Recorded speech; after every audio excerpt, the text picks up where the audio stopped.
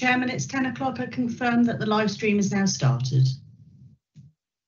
Lovely, thank you. And uh, good morning, um, good morning, everybody, and uh, good morning to um, Jesse and Stuart are joining the meeting for items later on.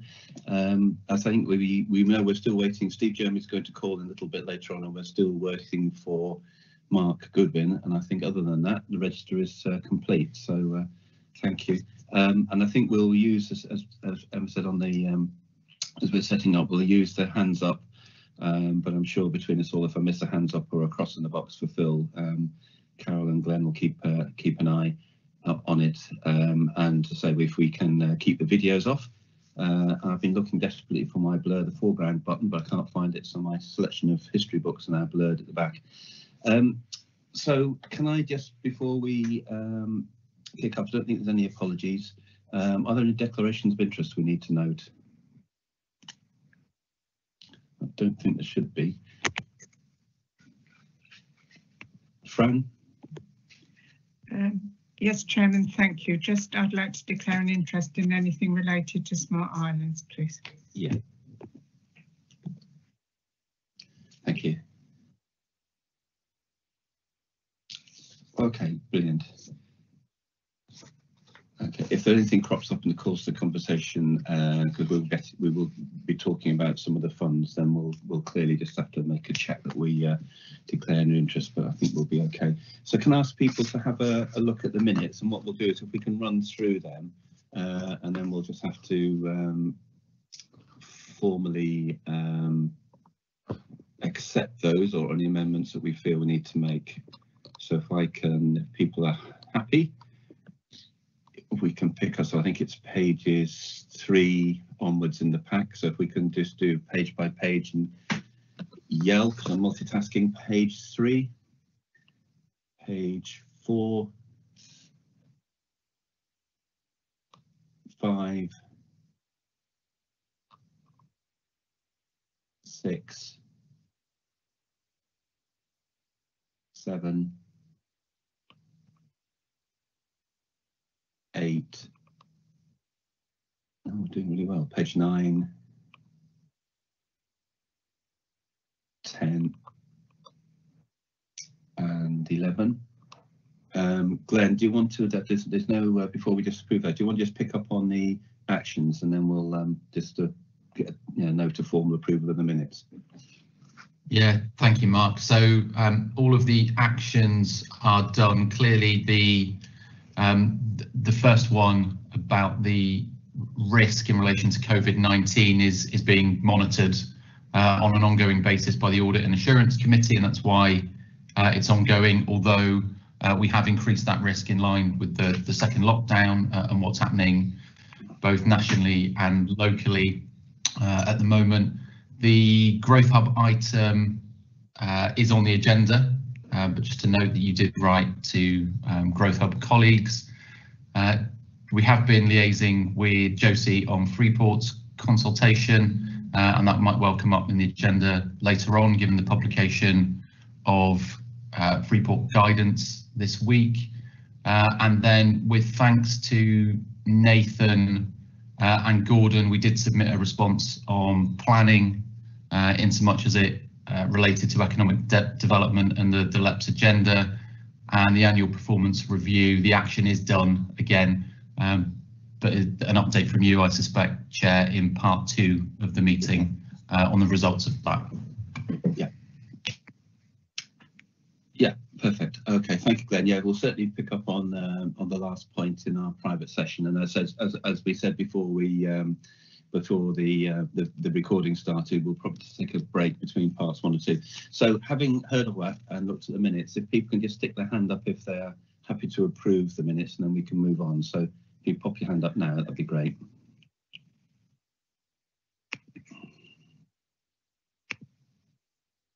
Lovely.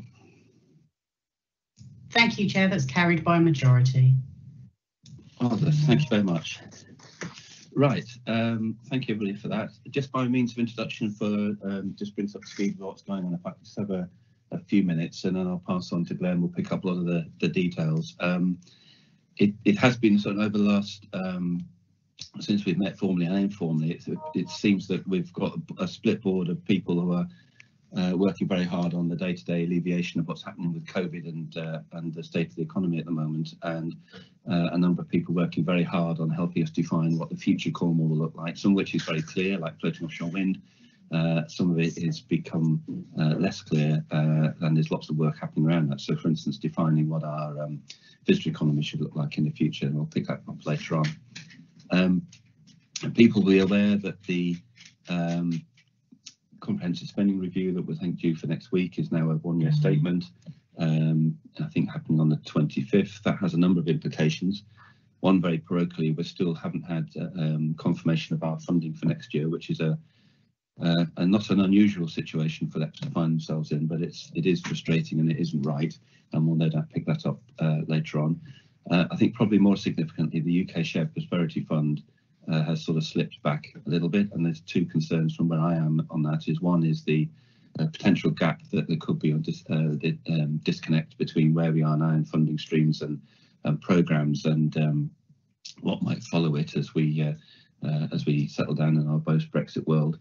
Um, and the other risk that might not risk or sorry opportunity or risk is that we might end up with a um, another very quick call to arms in terms of um, uh, intervention from UK government for business development, such as the um, Getting Building Fund. So with that in mind, you know that we have asked for expressions of interest uh, and lots of conversations are going on with, with people coming forward uh, with work that they want to do.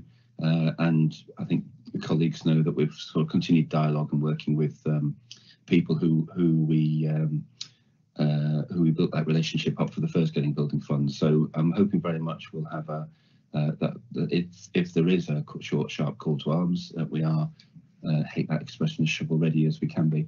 Um, the devolution agenda has also slipped back a little bit, uh, which again I, I'm concerned of in terms of um, the recovery of our economies. Um, I think it's very important that we do achieve an improved devolution um, deal, particularly around the allocation of future funding and particularly to me adult skills, and we'll no doubt talk about that little later on. Um, there is a little bit uncertainty about where we are with the local industrial strategy work. I know we've continued to review ours in light of COVID, uh, and there's quite a lot of work happening, particularly through the rural group and energy group, in terms of um, what that uh, what uh, that really means in terms of its evolution. So no doubt conversations will continue with Josie and Sally and colleagues in terms of um, how this process will pick up. But in the meantime, we are um, we are reviewing it and we will keep it and, uh, as the basis of um, uh, discriminating between interventions that we might want to make. Um, really welcome the government's focus on green recovery. Um, lots of pictures of floating offshore wind and reference to heat pumps, uh, which is all really encouraging for our aspirations uh, for what we want to happen in terms of our recovery in Cornwall. Um, what is really frustrating is that there is no particular reference to either Cornwall or the Great Southwest in terms of the opportunity to lead the Great Southwest. Indeed, there's a positive discrimination towards um, uh, devolved nations and uh, our red wall constituencies up in the north of England. So we need to work hard with our MPs and political colleagues to inside and outside of Cornwall to um, to make sure we're not lost in that. I, I don't believe we will be, but um, we need to make sure that we're not. Um, we're continuing to work on the adult education, uh, new employment and skills board, which we'll no doubt talk about a little later on, but that's so important. We've seen the unemployment figures deteriorate, not to the degree we thought, uh, thank God, um, but we do know there's going to be a significant issue in terms of employment. We know in terms of um, people's indebtedness, there'll be particular places hard to hit. Uh, and we know behind all that there's a rapid pace of change in terms of how we all live our lives and emerging industries. So that whole skills agenda, helping people into work and, and being fit for work uh, is, is going to be a real priority next year. And I think also the delay in devolution will probably gives us some opportunity to keep talking to government about if there's going to be a, a pan regional entity, let's see, beyond Cornwall and Scilly, is it going to be the Great Southwest? Is it going to be a bigger area? Uh, I know there's been lots of uh, discussions around that inside and outside of Cornwall. Uh, certainly a willingness to work with the Western Gateway on energy and zero, um, net zero and, and transport, but thereafter our economies are very different and any sort of conjoining of the two areas does seem to be a step too far, and I would worry that Cornwall's voice will be completely lost.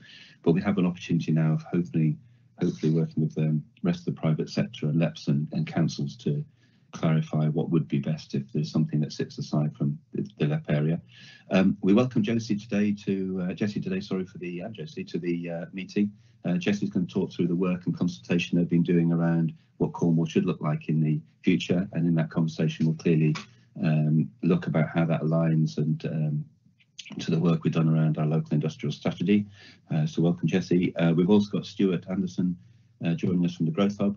Um, I just want to say thank you. We've, we have written to Stuart, but the Growth Hub has been a really active part of the business cell, which we um, we chair and lead, working with other representative groups, uh, Business Bank, and um, has shown really the invaluable role of, of growth hubs and people hubs in the environment we're in at the moment and uh, um, has gone around has, has, has, done an excellent job uh, extending its reach so thank you Stuart on on behalf of it and it's nice to see that all those representative groups from um, very different areas are working very cohesively to try to understand what's happening and um, advise and intervene uh, when necessary.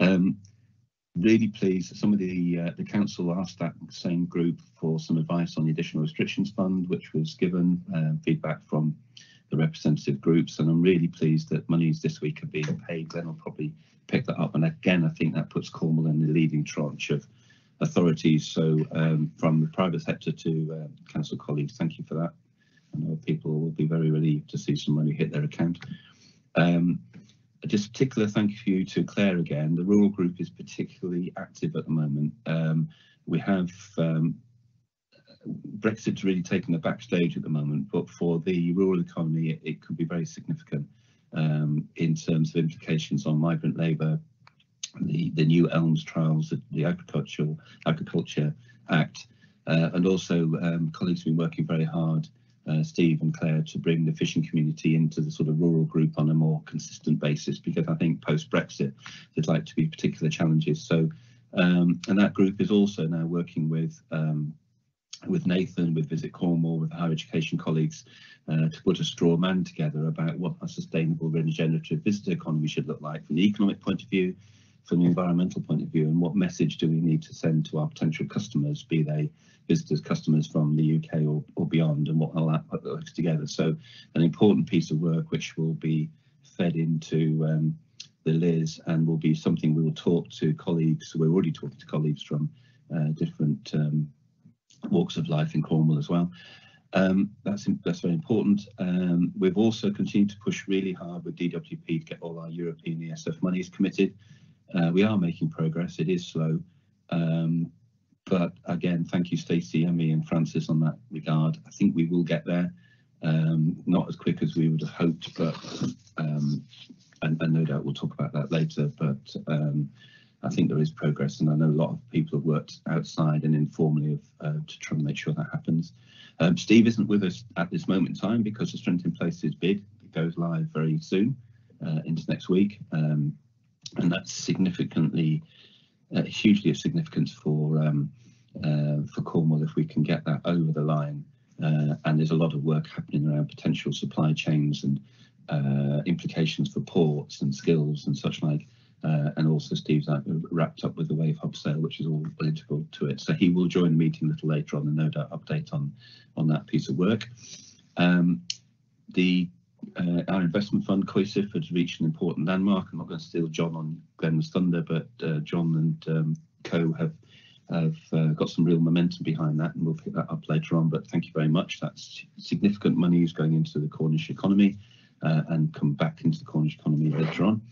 Uh, and finally, I just want to say thank you for all the work that's been done around the communication agenda. I think the um, I think the communication from and to the LEP has hugely improved over recent times.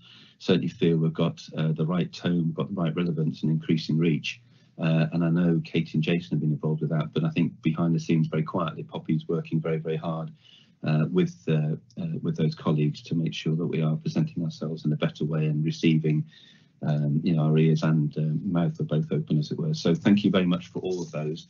Um, and as the last board meeting, just want to thank everybody because it's been a huge amount of work happened um, uh, formally and informally since the last board. And I know lots of colleagues have been working uh, very hard. So I'll finish on that. Um, unless there's any questions, I can't see anything coming up. I'll pass over to Glenn.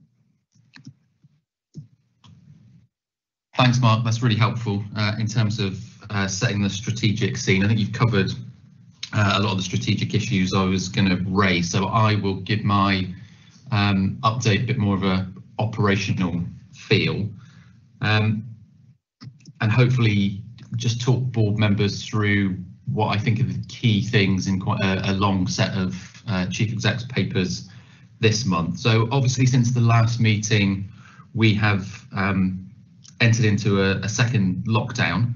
At the last board meeting, we were talking about catching up with the uh, agreed business plan of the LEP and some of the things in there. Um, because we've gone into a, a second lockdown, uh, we haven't been able to pick up the pace on some of those things, um, particularly because we have been focusing uh, mainly through Mark's efforts and Mark's chairing of the, the business cell. We've been focusing on working with partners, the FSB, the Chamber, Visit Cornwall, and a whole range of others, um, not to mention the, the two local authorities, on um, kind of managing both the intelligence and the lobbying around uh, the impacts of the, the lockdown, but also some very practical things. Mark talked about the uh, grant payments, um, the LEP, business partners uh, and local authorities worked really hard to get those schemes up um, as quickly as we possibly could. They were launched uh, last, the mandatory scheme was launched last Friday. Um, the additional restrictions grant will be launched later today. Um, and I know Cornwall Council has already been able to get uh, around 4 million out of the door. So uh, when we entered the lockdown, uh, and we were kind of assessing what's the most practical, helpful thing we can do for businesses, shaping that those business schemes and, and helping get the message out that they were up and running um, was put very much at the, the top of our priority list. Um, the impact of that, as I say, is some of the, the kind of core things on the business plan have slipped, and we'll have to wait to see um, what happens at the end of the current lockdown, whether we go back into a tiered system before I can really advise on um, what we might have to think about pushing into next year in terms of actions and, and spend and what we can realistically catch up on. Um, but I think that reprioritisation of LEP resource and time and effort has been really worth it. And, and, certainly with businesses waking up this morning having been paid, I think that's the right thing to do.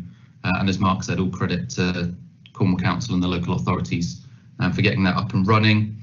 Um, so practically, in terms of the LEP um, risk profile and finance, what all of that has meant is that with slippage on delivery of the um, business plan, core items, the spend profile is still pretty much as it was last uh, time we met, so slightly behind um, schedule, uh, and we'll have to see whether we catch up or not. We're also, because of the second lockdown, reappraising some of our uh, risk issues. So we have increased the program risk. Uh, obviously, we've increased the, the, COVID risk, as I said earlier, but we've uh, also increased the program management risk, and that is particularly around things like growth deal, things like getting building fund programs, where uh, where there are some generic issues. So we don't know yet, uh, although the team are working hard with our um, partners, our delivery partners, um, we don't know yet quite what the impact of the lockdown will be on things like construction, supply chains, uh, where uh, growth deal builds uh, are still happening. And we've talked about this a lot at the investment and oversight subcommittee. We did have a plan in place for managing that um, before the second lockdown, but clearly we're going to have to review all of that, and that's why the risk has gone up. There are also some specific risks caused by COVID and the second lockdown uh, within our delivery program, particularly around projects which have been directly affected. So in our growth deal, there is a investment into spaceport. Um, the position on that hasn't really changed since the last meeting in that uh, Cornwall Council, for reasons we've discussed and understand, have moved funding from spaceport to the airport um, in order um, to make sure that that facility and asset um, keeps going in, into the future. Um, but that does potentially if it's not resolved either by local government or national government, create a risk in our in our growth deal programme. As I said, it's very much a um, holding pattern at the moment. We're hopeful that that will be resolved shortly. There is a um, comprehensive spending review announcement next week. I think we hope it will be resolved then, um, but that remains to be seen. Um, thinking a bit more positively, um, although there has been delays, there are things that we've been focusing on, particularly um, around delivery areas. So we have made a lot of progress with the Getting Building Fund, despite what I've said about the, the risk profile. So uh, we have contracted two projects that were announced as part of the Getting Building Fund. Uh, and the two we've contracted are the uh, Truro and Penwith Skills Centre in Bodmin and the Hall for Cornwall. Um, and the rest are probably days, maybe a week or two from being signed. So we've made a huge amount of, of progress on that. Uh, we've also, as discussed at the last meeting, opened up an expression of interest uh, process for local projects to come forward. We hope um, to be in the next round of Shared Prosperity Fund or Growth Deal, whenever that uh, is. We did exhaust our, our pipeline of projects uh, in funding the Getting Building Fund. That's been going really well. We've had a lot of interest in that. I think we will have a compelling um, and large list of potential projects, both um, public and private sector led. Um, but because of the lockdown, I'm minded to extend the deadline on that by a couple of weeks. It was due to be the end of November. Um, but I think if we can extend that, there are no objections uh, around the board, we should do that just to make sure we're capturing those projects that have perhaps um, had other things to deal with uh, during the lockdown. Also making some progress operationally, reviewing how we, uh, Mark kind of trailed this, how we um, deliver our communications. At the moment, we have absolutely redirected all of our communications to um, signposting where businesses can find support, uh, but we're also going through a website rebuild at the moment, which I know Poppy has been inputting on um, quite extensively, and we're hopeful that will be completed in February. Uh, as Mark said, we, have been doing a lot of uh, lobbying and um, trying to articulate our vision around a couple of areas that the board have set a priority, primarily uh, low carbon, but also sustainable tourism and uh, articulating what that means in terms of a further iteration of the local industrial strategy. And that will be coming back shortly. So thanks to Claire in particular uh, on that. Um, and then I think the final thing I was going to say is we have made a lot of progress on recruitment of new non-exec directors, um, particularly to fill the gap left by Louise. Um, and we're interviewing next week for that. So we've done quite a lot of work on recruitment as well. I think, Mark, unless there was anything else you wanted me to cover, I was going to leave it there. Thank you, Glenn. Before I just pass on, I know Gordon's uh, got his hands up.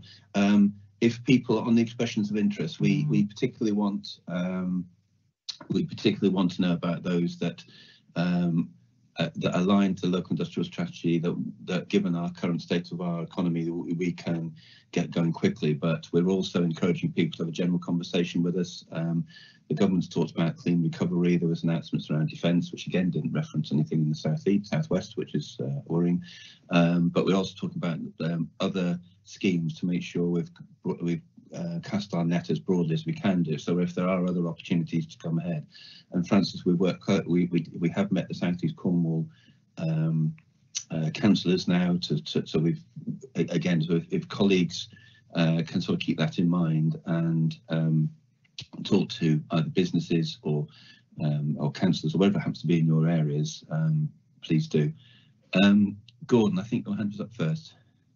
Yeah, thanks, Mark. Um, that's an impressive list, but there was a bit of a theme in both of your presentations around government um, failing to provide information, government deadlines slipping, um, most notably government not confirming the LEP's funding, and obviously that's miserable for the for the team um, for their employment situation. But uh, um, we are making forward commitments. Um, uh, and, and and rightly so. But a rather parochial concern on my part. We've got responsibility as directors to assure ourselves of our going concern status, and um, I'm starting to worry uh, that we're that we're going to be nudging up against whether we can safely say that. So I, I would like to hear something, please, about what the um, what the consequences are and what the timings are of decisions that will need to be taken about about shutting things down if the government continues to fail to provide us with with funding information.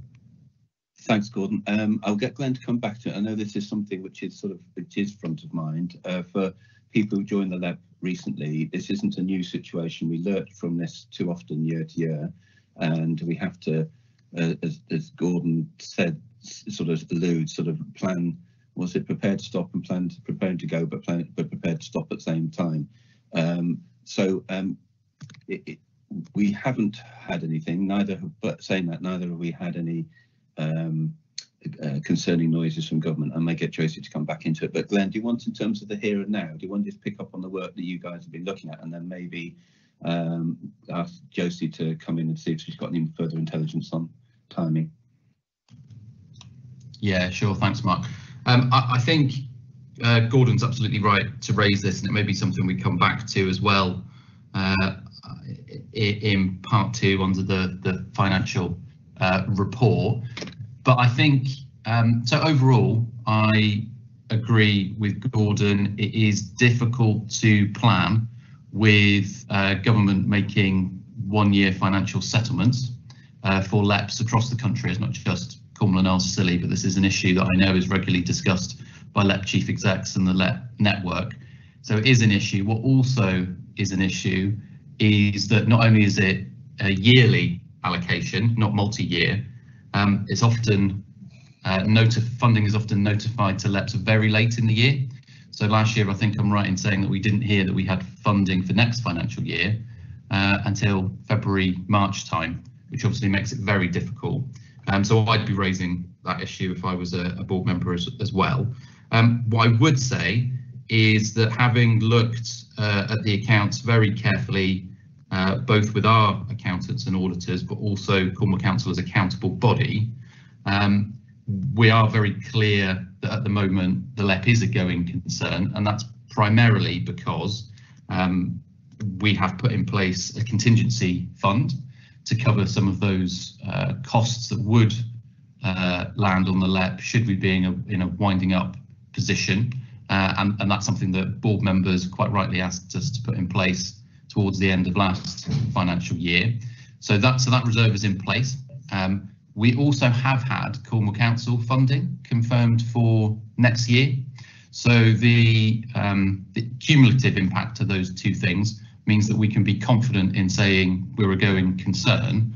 Um, but you're quite right, Gordon, it doesn't help planning, it doesn't give confidence to staff, um, and it is a, a re repeating issue year on year. So um, uh, it is something we, we raise with government uh, at every review, every end of year review, every mid year review. Um, I know uh, local colleagues, Josie, are, are sympathetic to that um, but it is an ongoing issue. Um, however, on at the moment, um, I can assure the board that we are um, a going concern. I appreciate the answer, but I can't help noticing that, that we get criticised for um, for the relationship with Cornwall Council by the government, and and it's Cornwall Council who are paying their bills. But anyway, I do appreciate the reassurance you give. Thanks, Gordon. Um, Josie, I don't know if there is any update you you you can give or or that's different to the conversation? Um, I mean, there's not a huge amount to add, Mark, only to say that um, obviously we're eagerly awaiting the spending review on Wednesday, which, as you rightly said, is a single year. Um, you know, we would like to be in a position of offering multi-year settlements as well. Um, and you know, just for for many reasons, we are in the position of having to do a single year spending review once again.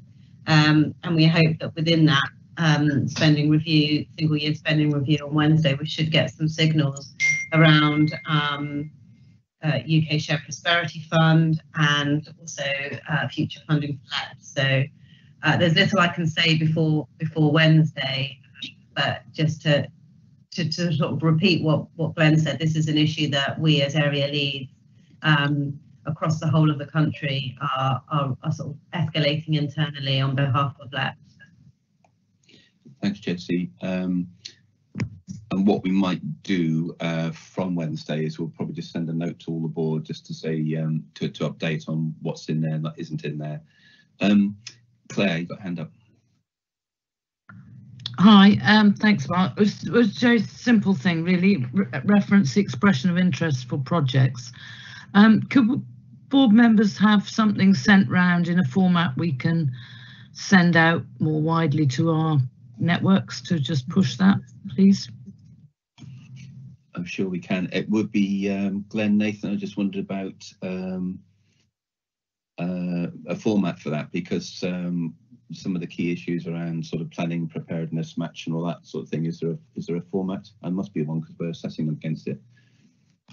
Yeah, there is a there is a format, um, Mark. I will take that away as an action. We'll circulate something to board members along with the communications about extending the deadline um, so that board members are able to, as Claire says, make their um, networks and contacts aware of, of that because at the moment it's shaping up to be a really good um, set of projects that we're seeing come through. And the stronger we can make that the better chance we have to be to get those you know shovel ready projects ready to go as soon as we get some announcements from from government.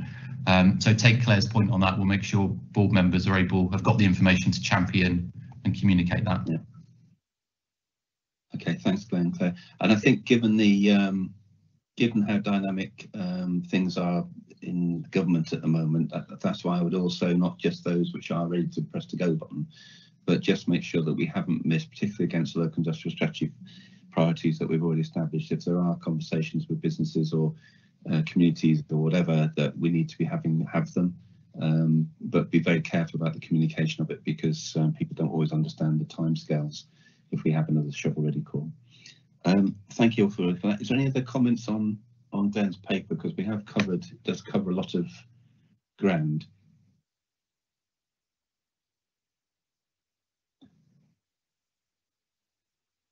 I think Claire, that an old hand, yeah. Okay.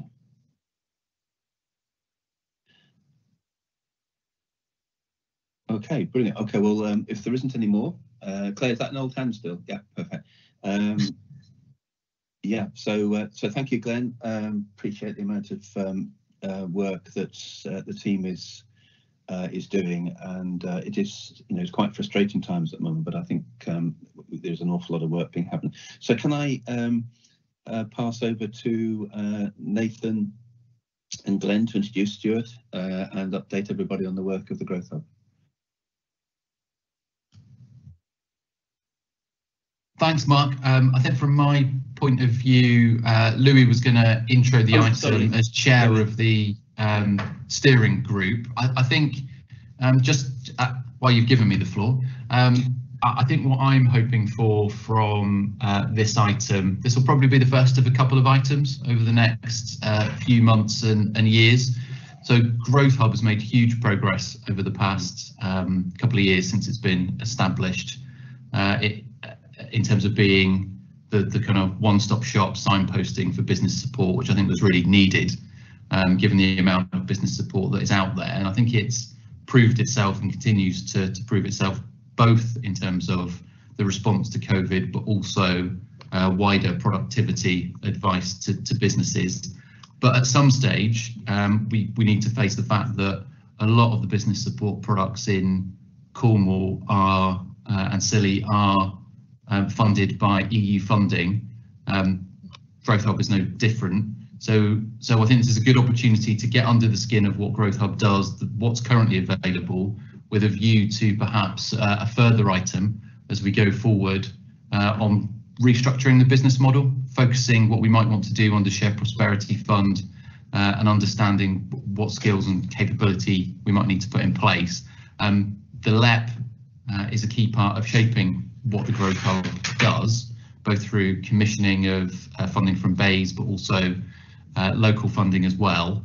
Hopefully, I haven't stolen Louis' thunder, but I, I, just think this will be something we need to revisit over the next uh, few months. So this is a good place to start. Absolutely. Louis, thank you. Thank you, uh, Mark. Thank you, Glenn. Yeah, I think as you know, as chair, as Glenn says, of the um, management uh, board of the Growth Hub, you know, I think I really want to just say I really welcome the opportunity um, for the the LEP board to take a moment to, to recognise the good work that the the Growth Hub does, not only in kind of shall we say normal times, but um, you know, in, in, in emergency, you know, economic times such as we, we face ourselves. I also, you know, want to personally, you know, thank Stu, um, you know, and his and his team for the response to, you know, COVID-19.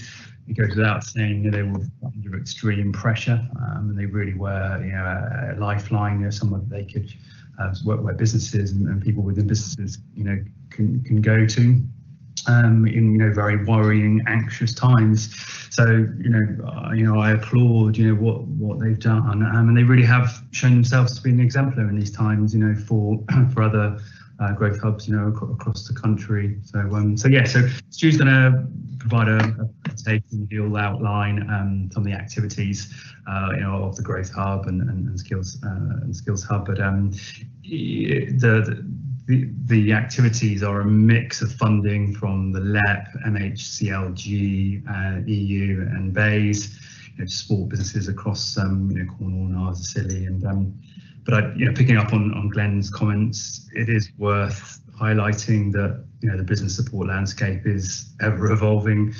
Uh, there is a lot of um, uncertainty ahead with closure of you know EU support, and you know uncertainty around you know, the replacement domestic, you know, offering, um, and you know, the the Growth Hub Management Board are increasingly focused on um, what opportunities are out there, uh, including national programs, um, just trying to work out what the future business support lands, landscape will look like. So um, there's clearly lots going on, um, and I think uh, I'll now pass over to uh, Stu to give his presentation, and hopefully there'll be a little bit of time for some questions to be raised by the board.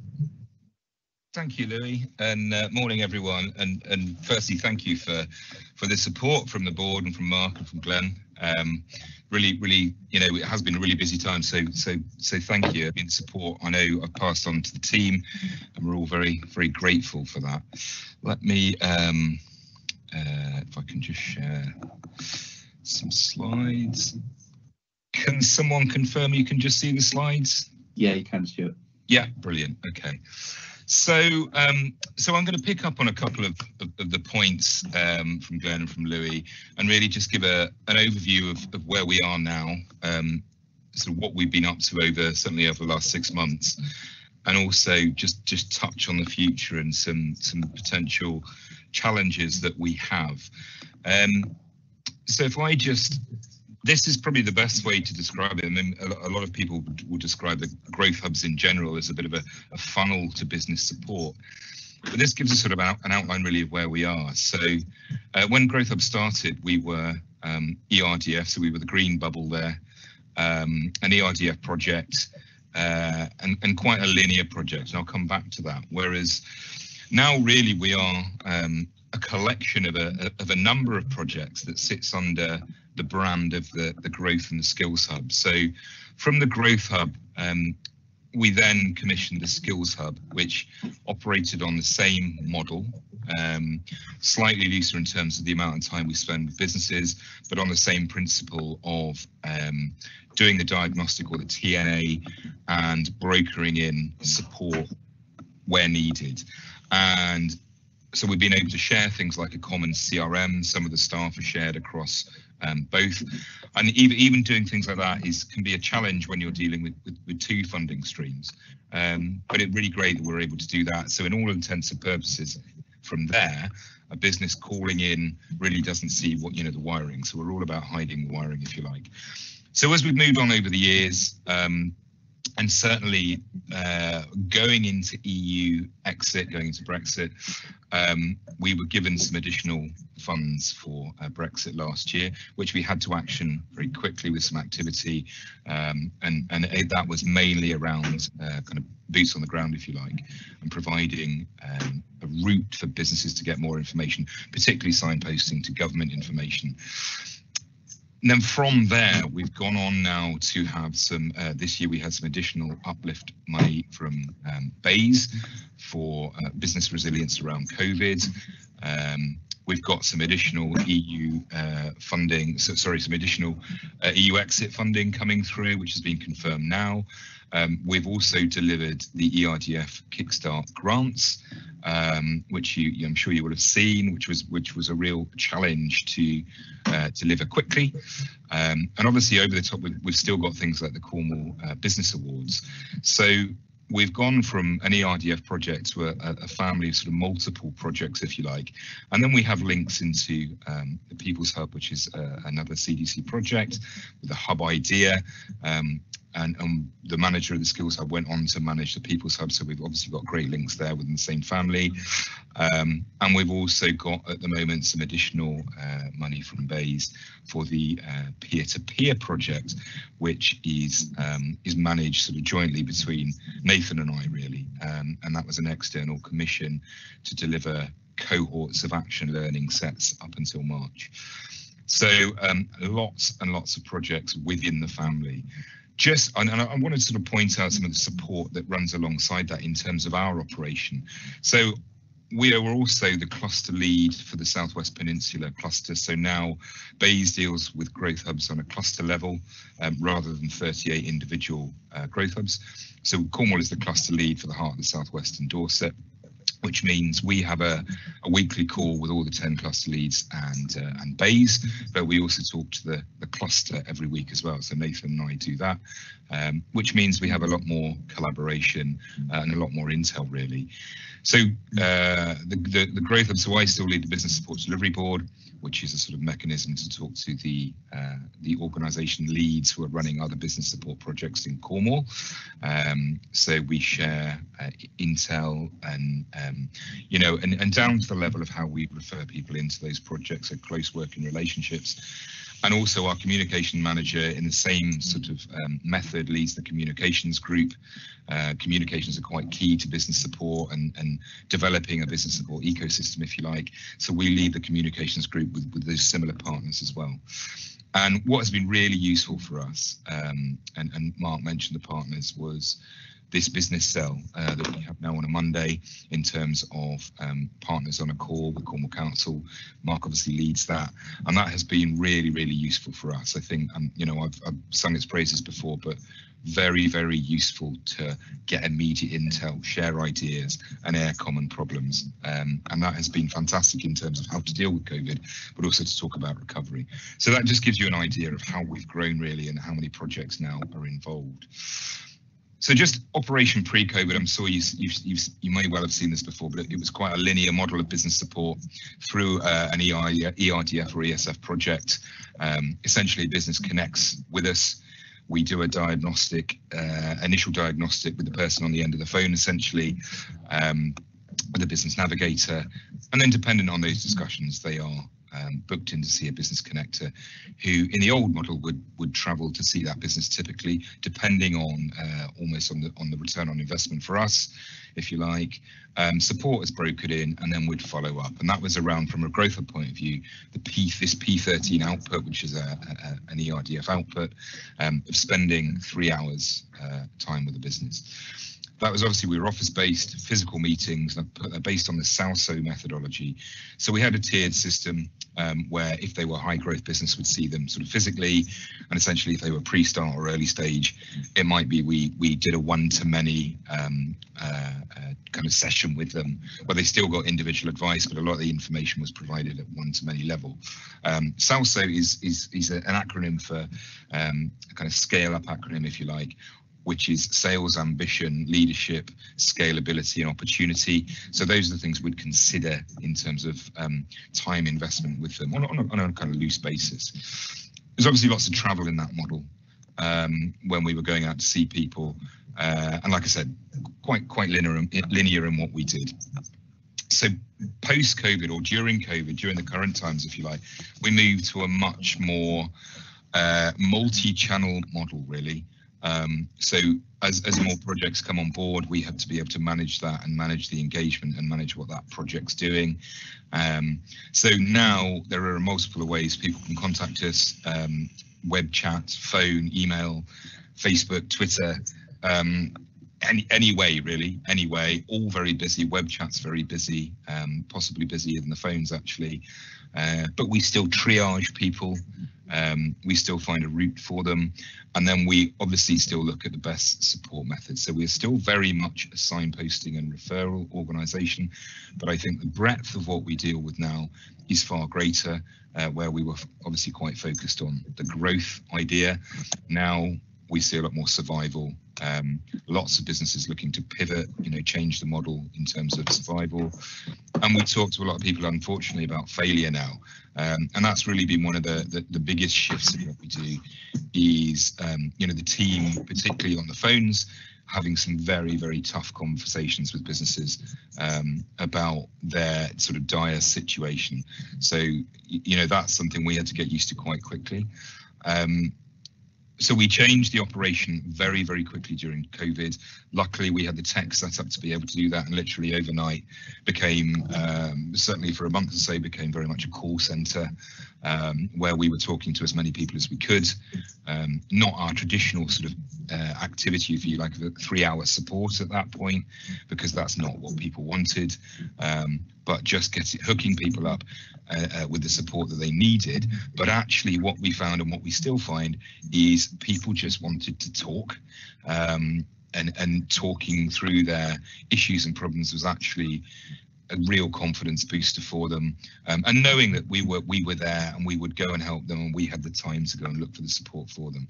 So not really linear anymore. We've got people coming from all directions and, and disappearing off in all directions to support if you like um, and coming back to us you know uh, much more sort of a circular process or a kind of cogs cogs in the machine really. Um, so the other thing that we have, um, because of these various mechanisms of linking with partners, is that we tend to be talking uh, to partners a lot more and greater intel. So uh, there seems to be more activity now, which I think is brilliant, of talking to the partners in a forum, you know, in, in a sort of uh, online forum, if you like, which has been very, very useful. Um, and also with some of the funding, we've been able to commission greater intel around things like EU exit. Um, and we are re re required to report a lot more actually so we do a weekly report up to BEIS um, on you know almost like what the, what, what, the word on the street is what we're finding numbers um, and what's going on in the sectors. So a lot more data flowing which we know from a BEIS point of view is is helping shape policy uh, and, and you know we've seen that happening. So just to give you some quick numbers around covid um, sort of you know with huge amount of uh, of activity on the website, and that's because we we we adopted what we call a digital first um, uh, method, where all of the information that we were signposting around the support for COVID was essentially to the gov.gov website. And the reason for that is that was the most current version of the information.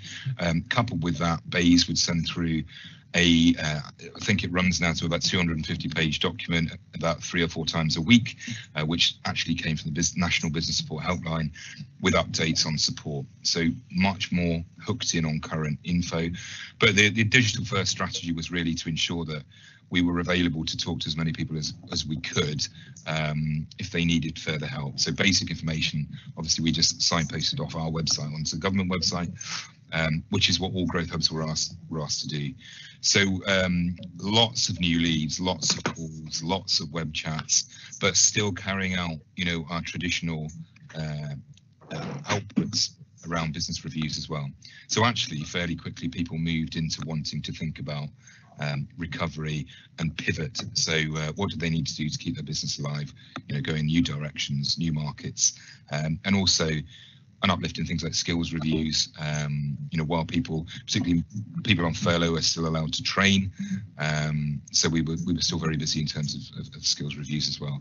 But just a huge uplift across everything, um, and that's seen nationally. So so you know, in in line with all the other growth hubs so what's been really really good i think for the team in in what has been a busy and no doubt tough time um, we still collect a lot of uh, feedback from businesses really important.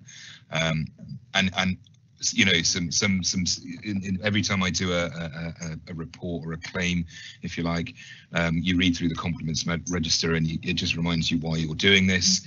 That quite often we have over this period been a real lifeline for businesses, um, and we got you know the, these are sort of messages we get. You know, we have a stronger chance of surviving COVID because um, you know even just a conversation with a business really really important. Um, and also, oh there we go. Um, just some examples of, of again, um, case files that we, we, we collect this feedback is really important. Really, I think it really helps the team as well. But you can see on a simple basis, you know, very helpful, loads of information, loads of tips, trying to sort things out for people. Um, and this, the skills so this is a nice one because it's it's finding the things for businesses that they wouldn't have been able to do for themselves they haven't got time we know that smes are time poor that's the central facet of a growth hub. We do that work for them. So post COVID, um, one of the things that we're looking at at the moment is um, so we we have now got a tool called uh, Beauhurst, which is a database of um, uh, all registered companies in the UK. Obviously, we look at it from a Cornish basis, Cornwall basis. So, and, and I'm just giving some examples here of, of, of the type of things that we're working on with it, and this is early days. Um, we've always focused on an organic marketing campaign to spread the word far and wide, but also to make sure we're hooking up with the, the hard to reach businesses, um, which I've kind of reported on our success with that before. But it means now we can move to a much more proactive tracking uh, area. So this this graph, the tool actually tracks um, so if I put in the 100, there's 100, basically 190 businesses that are being tracked by Beauhurst um, because of a growth metric in, in Cornwall and the Isles of Scilly. Uh, and this is those companies in relation to their risk of COVID, which is worked out on a couple of indicators.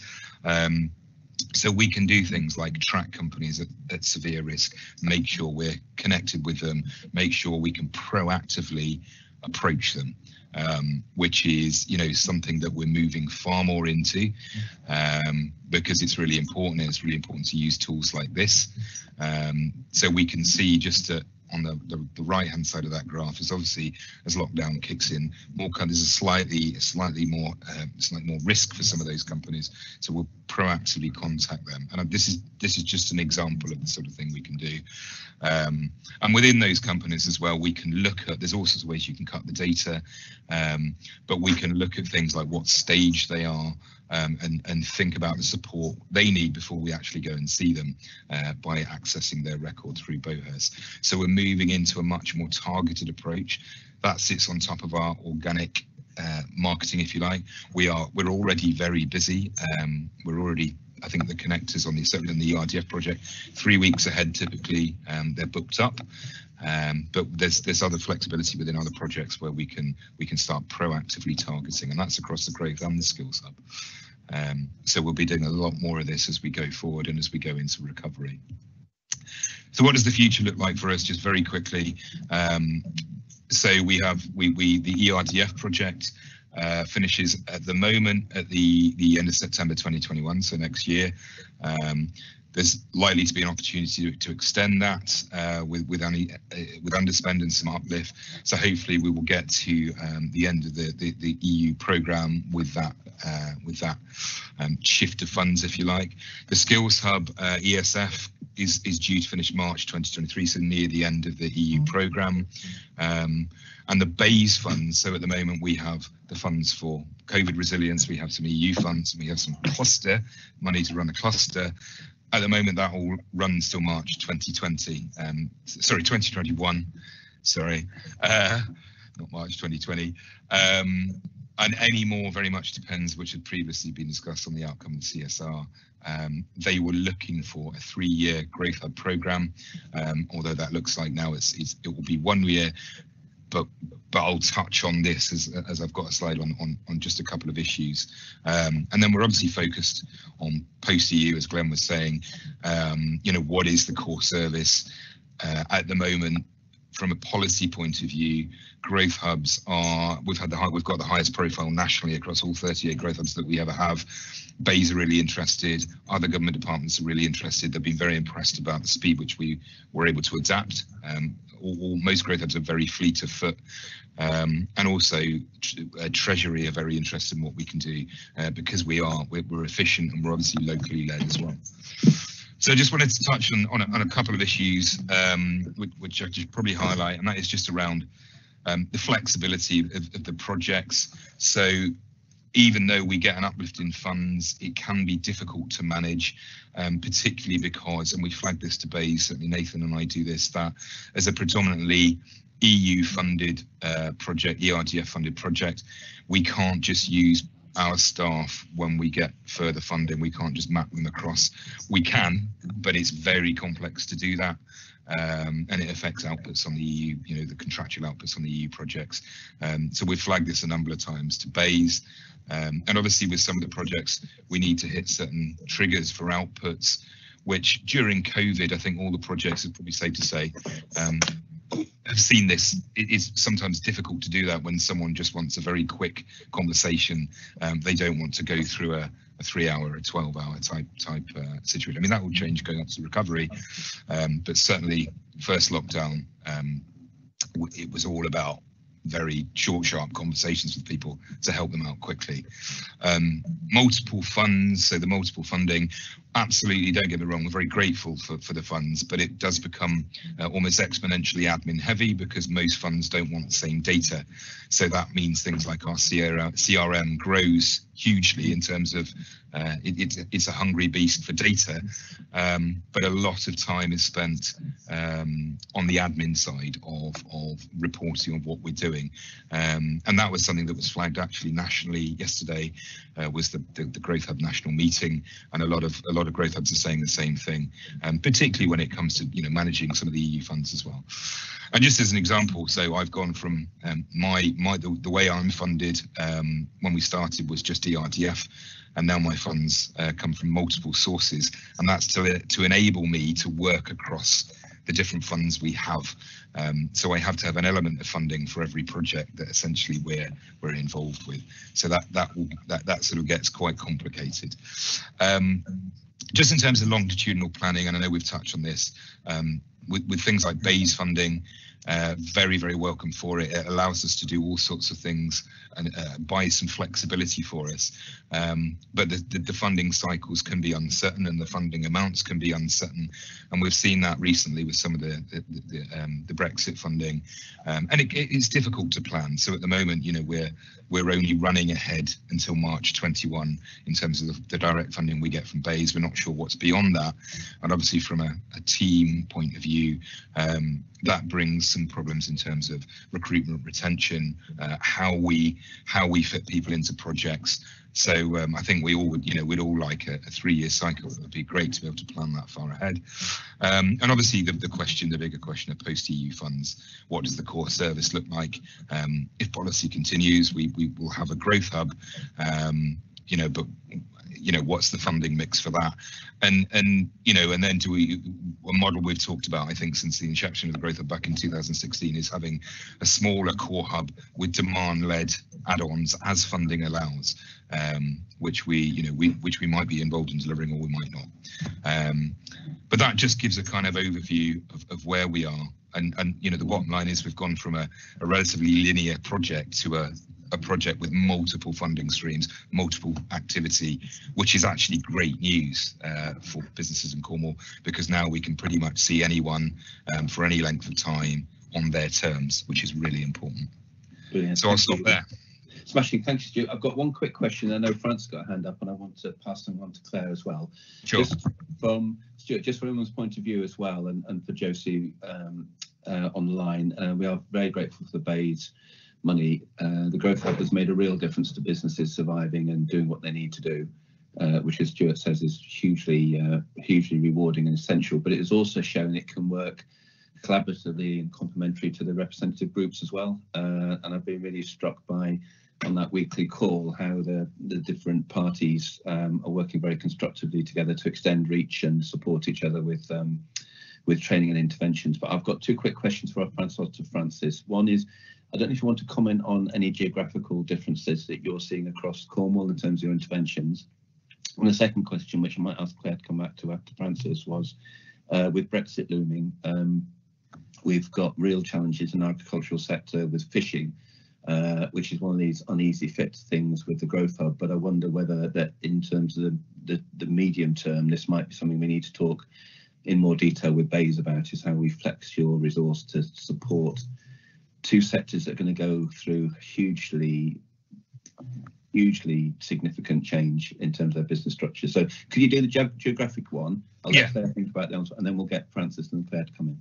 Yeah, sure. So uh, geographic, uh, I think the, the short answer to that is is not re- not specifically no. Um, we we have always been great in terms of the geographical spread that we've had. Uh, certainly in phase one, I'm sure you know you will remember the heat map across Cornwall.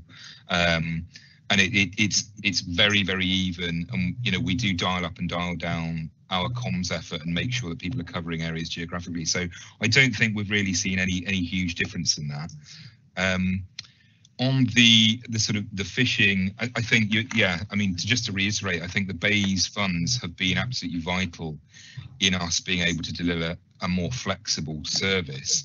Um, which has allowed us to deliver essentially to, to, to make, you know, I, I, think go to the partners and really ask, okay, what does your um, what do your membership want? How do they want it delivered? What's the big problems?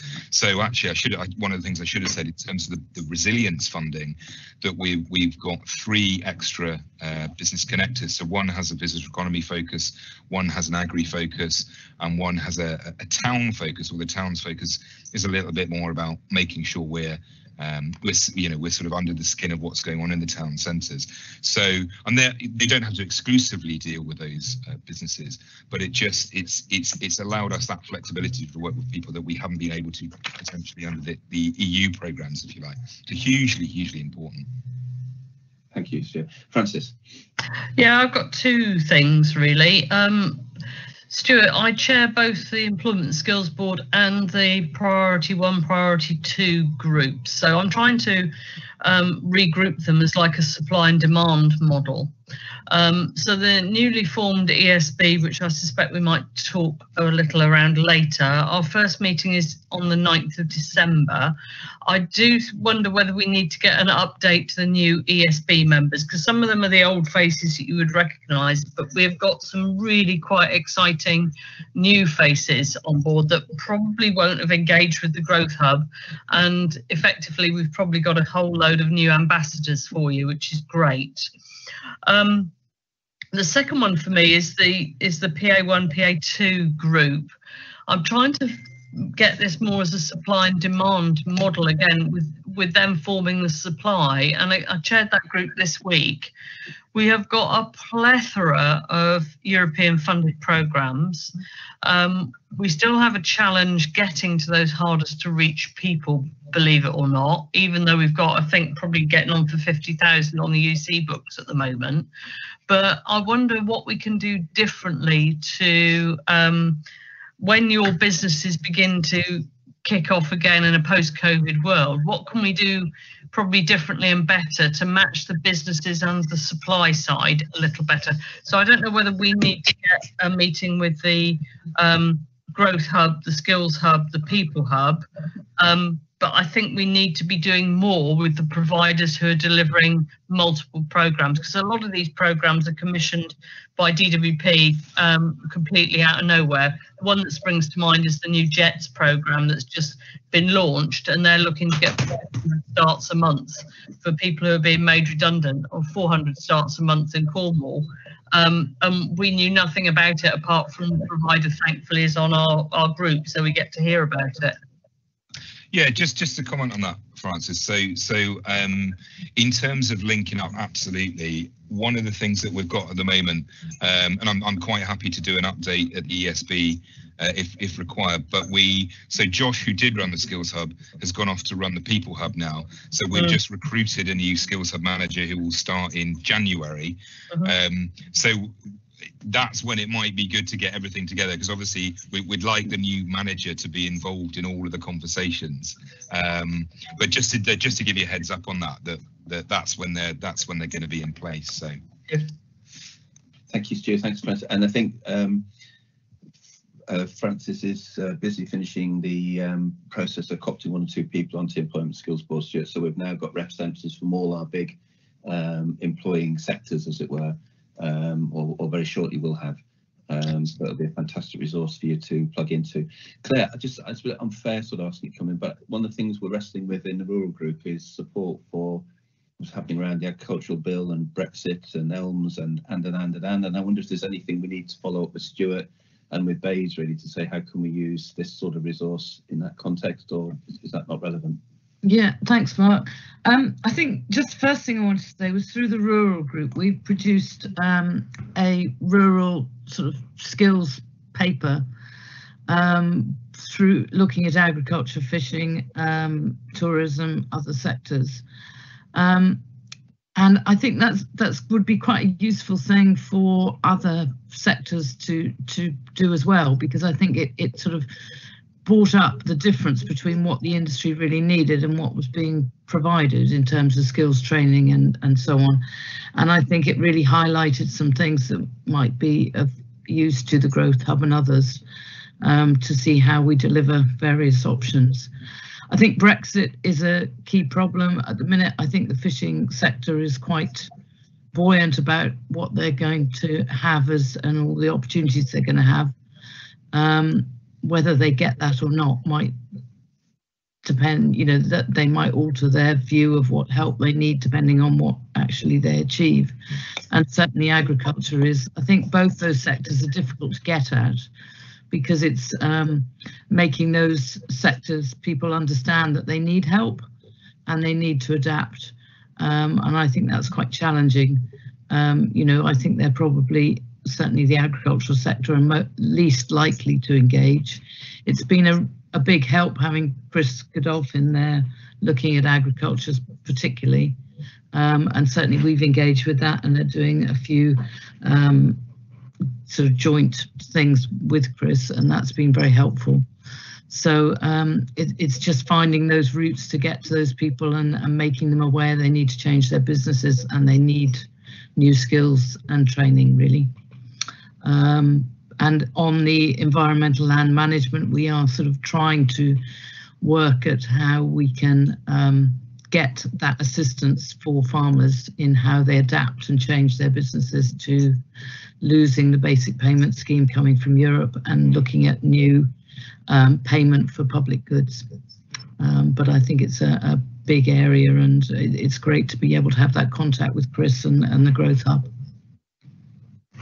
And one of the things we might want to think about, Stuart, going forward is a local nature partnership. We've got aspirations against their devolution agenda, and clearly with what's happening uh, with agriculture bills and stuff, there might be something which a more formal conversation should happen with you guys and them, um, because they might recreate the wheel uh, in in some of the things they're talking about uh, to a skill set you've already got.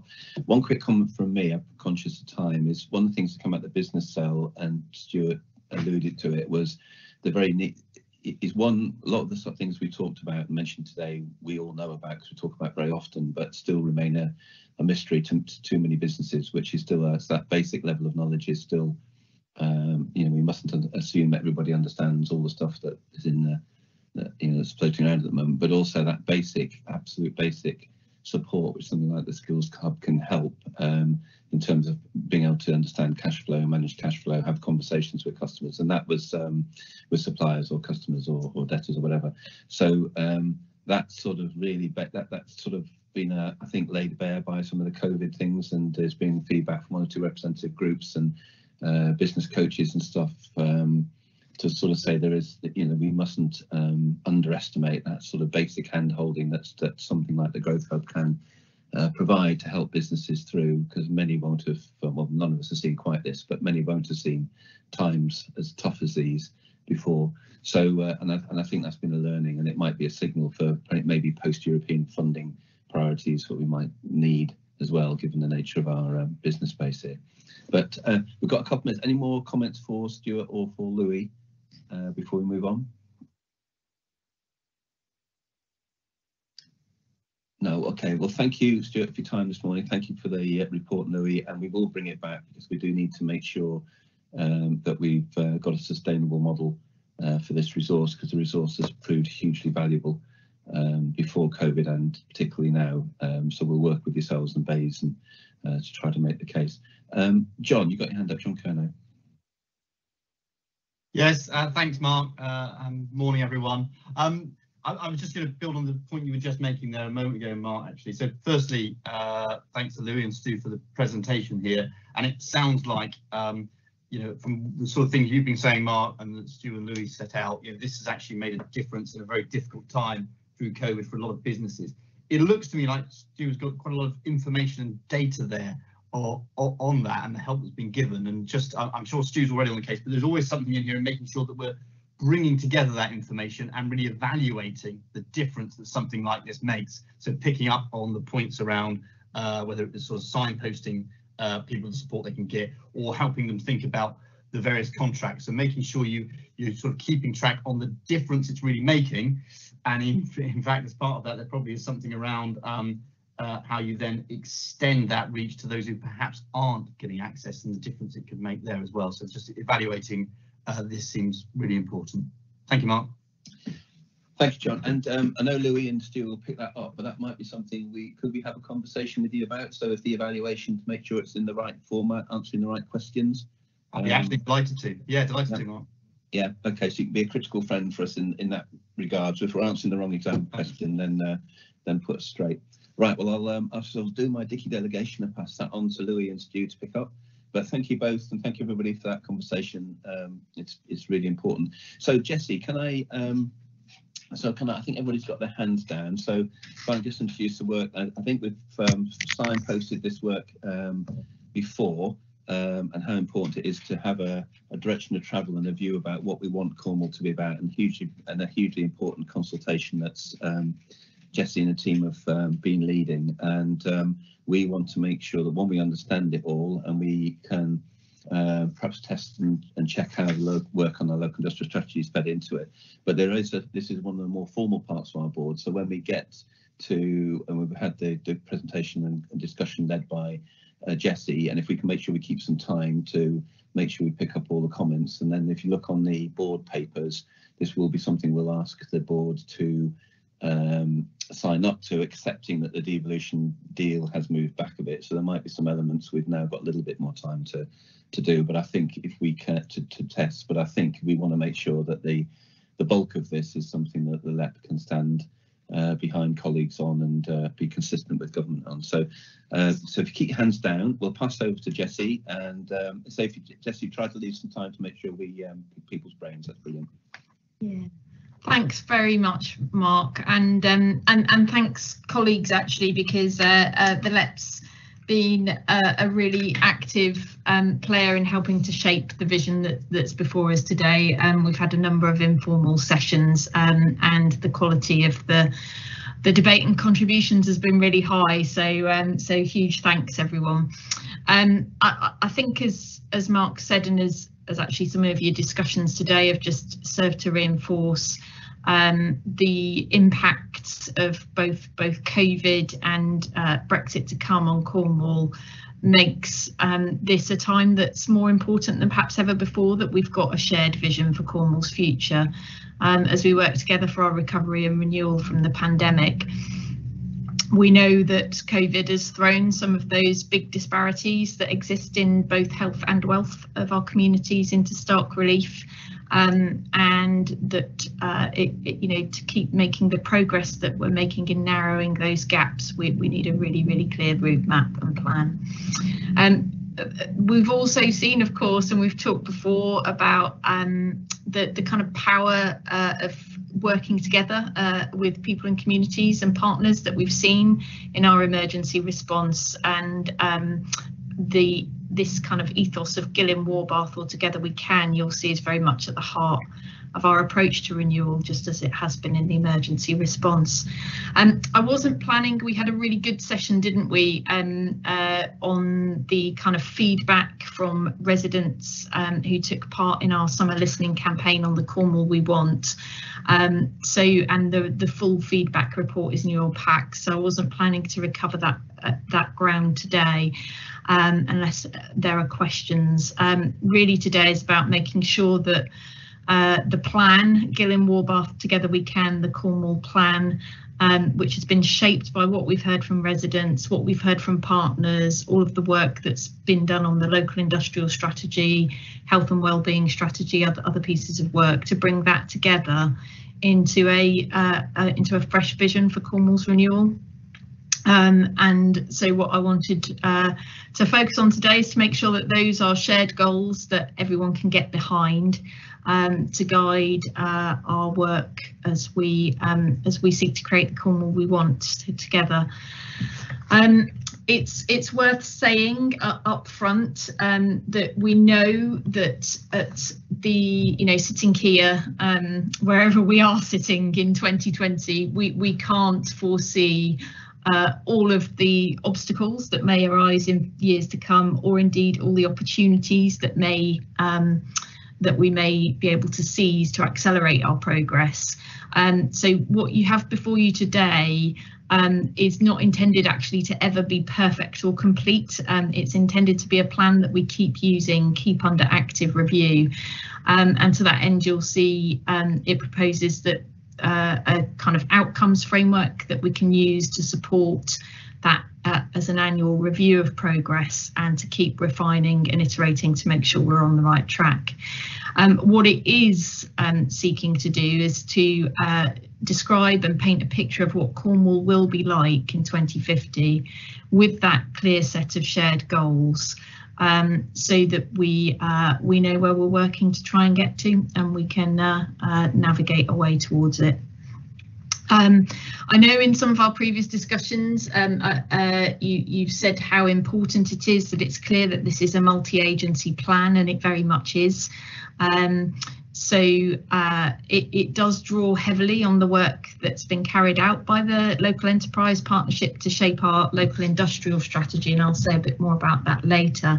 Um, but it's already been formally endorsed by Cornwall Association of Local Councils, the Cornwall and Isles of Scilly Health and Care Partnership Senate, the Cornwall and Isles of Scilly Local Nature Partnership, um, Cornwall's Council's Cabinet, um, and also by Cornwall's youth MPs, who you'll see uh, commented this vision places the most pressing concerns for children right at the heart of plans for Cornwall's future, from protecting the environment through to improving mental health, ending child poverty, and giving everyone an equal chance of a good life. Um, so there's there's kind of quite wide uh, partner support for this. Um, and uh, it also has uh, helpfully the backing of Environment Secretary George Eustice, who's contributed a quote uh, to the front of the document, making clear that this vision shows how Cornwall can lead the way in building back better and greener.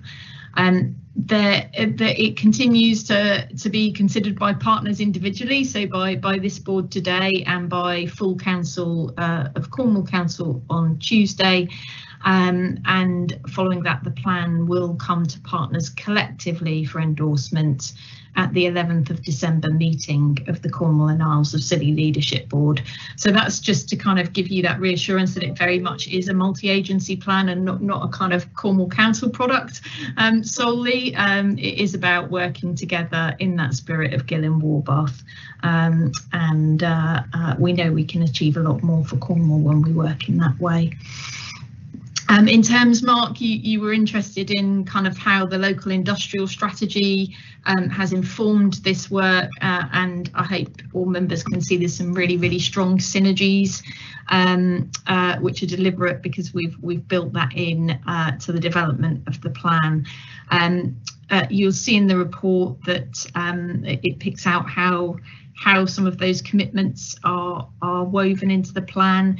In particular, a creative carbon zero economy is one of the six core themes within the document.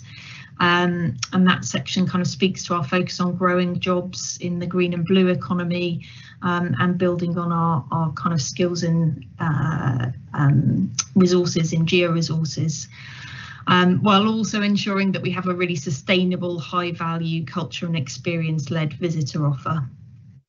Um, the local industrial strategy um, focus on agri-food uh, is picked up strongly in the theme of sustainable food, land and seas within the Cornwall plan. um, which seeks to capture our aspirations for sustainably produced Cornish food and drink um, to be highly sought after. Um, the, the theme within the plan of education, equality and entrepreneur, entrepreneurship, you'll see, speaks strongly to that shared commitment um, that, that is in the local industrial strategy around a diverse and inclusive workforce in Cornwall um, and around increasing our R&D spend with Cornish businesses um, so that they're renowned for their ideas, ingenuity and innovation. And then, of course, um, in terms of kind of uh, globally significant space and satellite cluster, um, uh, part of the local industrial strategy aspirations, that's again picked up strongly within the the theme of the Cornwall plan that is focused on a digital revolution for sustainable living. So I really hope you can kind of see how um, how the work this board has led on on um, on the local industrial strategy has really strongly informed um, the vision before you today. Um, I, I mean, from from this kind of feedback we've had from uh, partners so far, um, the the plan articulates some really clear goals everyone can get behind, um, such as ensuring that no child in Cornwall has to depend on food banks for nutrition, um, and we very much hope that we can add the local enterprise partnership board support to it today alongside those other partners. Um, the the outcomes framework within the plan um, is something I'd be particularly keen. We've kind of tested this widely. This is what we, um, you know, what we'll be using to kind of review progress and help us track and make sure we stay on course. Um, uh, that that is um, the the product of a uh, three month research project in collaboration with the University of Exeter um, to identify the best kind of Cornwall wide indicators to measure our progress. Um, uh, but we do want to test those with partners and make sure that you think that they are the best possible Cornwall wide uh, uh, metrics for overall progress. Um, and, and, any feedback on that today would be really welcome because we'll keep um, testing and iterating that to get that right. Um, the um, the section on devolution, uh, I think, as as Mark said, um, uh, that's a really been a really strong component of this work. Uh, we think the Cornwall plan provides a really strong springboard for progressing um, that devolution discussion with government. Um, it, if it, it, you know, with the backing of all partners, it, it will show that we've got a really uh, really clear vision for Cornwall's future um, that is uh, shared, you know, informed by that uh, engagement with residents and shared by all partners. Um, it's got that really strong endorsement from uh, George in his capacity as um, as, as a member of the cabinet uh, uh, uh behind it. Um, the what we know is that while partners together in Cornwall do have really significant resources uh, to put behind this plan, um, which uh, which is uh, which can guide how we use it together to get the most from those resources. We do know that greater local control over the powers and funding coming into Cornwall would enable us to go further faster. And as, as board members know, we also heard that really strong message from our residents in the Cornwall We Want campaign that they want more decisions affecting Cornwall to be made by Cornwall. And you'll have seen in the report, and, and the LEP's been incredibly strong in that um, dialogue with government um, about how Cornwall can build on our successful devolution track record to secure further autonomy ahead of the devolution and local recovery white paper. Um, as Mark's indicated, that was due out this autumn. Uh, we've made some really good progress in our dialogue with Simon Clarke, um, uh, then Minister for uh, Regional Growth and Local Government, um, in his late July visit, in which he'd agreed to take forward a conversation around Cornwall working with government to serve as a blueprint for devolution in not metropolitan areas, in the same way as Greater Manchester has blazed, blazed the trail for devolution to uh, to core cities. Um, Simon Clarke's surprise resignation on 8th September and the the white paper being put back has obviously um, uh, uh, kind of meant that we, as Mark said, have a little bit more time on on, on that. But um, uh, the work that we've been doing together, I think, puts us in a really strong uh, position to bring forward um, a really a really strong and compelling proposition um, from all partners in Cornwall uh, in into the new year. Um, you'll see in the report that we've set out and hopefully accurately captured those areas that have come forward from the local enterprise partnership in which you guys have been uh, working up, particularly um, that really important piece around um, the evolution of adult education and skills budgets to support um, to support our people um, into into jobs at a time when that's going to be so important, alongside those other aspirations in relation to uh, to our renewable energy potential um, and uh, obviously the shared prosperity funding and a sustainable green visitor economy. So uh, hopefully you recognise all of that and you think that those we've captured accurately those as the right areas that um, that you're championing as part of that devolution dialogue. Um, so that was all I was going to say, uh, Mark, by way of, of kind of introduction to the discussion. Um, and uh, yeah, uh, would would really yeah. welcome hearing from colleagues. Yeah, thank you, uh, Jesse, and um, we'll we'll take some comments. The um, just I, I know these things are very broad, but I think um, having a having a sort of direction of travel and a view for what Cornwall would like it to be, whilst the world all around is changing, I think is important. But I'd like to make sure we pick up on the um, uh, on the uh, key things, uh, the actions that may, may come out of it. Um, one sort of question before I open it up, just using my chair's position, is I think on the sustainable tourism aspirations, that work is still alive. So I think the evolution delay is going to be helpful because I think as the more we've looked at what this really means, there's, a, there's quite a lively debate about the sort of mechanisms that could and should be employed to make the changes um, that we need to happen. So that might be one area where we sort of almost like red circle it. We, we, uh, we will want some more devolution in this area, but we're not actually quite sure what the right mechanisms are, and we want to help with that. So a load of hands went up straight away. I think I saw Linda's first, so apologies if I got it in the wrong order. So Linda. Lovely, thank you, Mark. Um, Jesse, uh, once again, thank you for possibly the seventh time I did this presentation. Um, but Jesse, I, I, think it's a little bit remiss of you to have missed out that the very important overview and scrutiny committee made up of cross parties um, voted recently they were not able to support this document in this particular form and obviously this is cross-party elected members so I just felt it was important the LEP board were aware of that information. Thank you. Okay, Linda, um, uh, thank you. Um, I'm not sure quite how to respond on that, but uh, we'll come back to Edwina. Yeah, thank you, Chairman. Um, on that last point, I think the recommendation was not to recommend it, not not to recommend the document to be considered by cabinet um, to to be accurate. Um, I think Jessie has really summed up incredibly well in her presentation today and in the feedback document. Um, it's fair to say that this was the biggest engagement uh, project uh, that the council has ever ever undertaken um, I had the pleasure of um, chairing the, the environment that we want session. Over 200 people were live online and many more people saw it on the recording um, afterwards. So looking through the lens of um, climate change, and the climate emergency and the ecological emergency, it's really fantastic to see that the people of Cornwall um, and the other partners that have responded um, put that really front and front and centre um, and embedding that in our future plans. Uh, I'd like to publicly thank Jessie and her team for the amount of work that they have undertaken. Um, so thank you.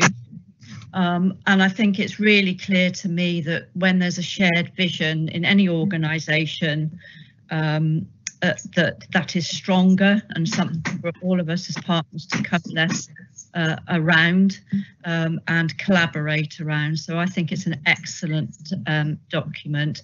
Um, thank you, Chairman. Thank you, Edwina. Um, uh, Emmy. Thank you. Um, yeah, whilst, whilst it's interesting to um, hear how other committees and organisations have responded, I think I'm really clear that um, I welcome the opportunity for you bringing it here um, to the LEP, Jesse, and I'm responding as a LEP director and in relation to the LEP strategy only.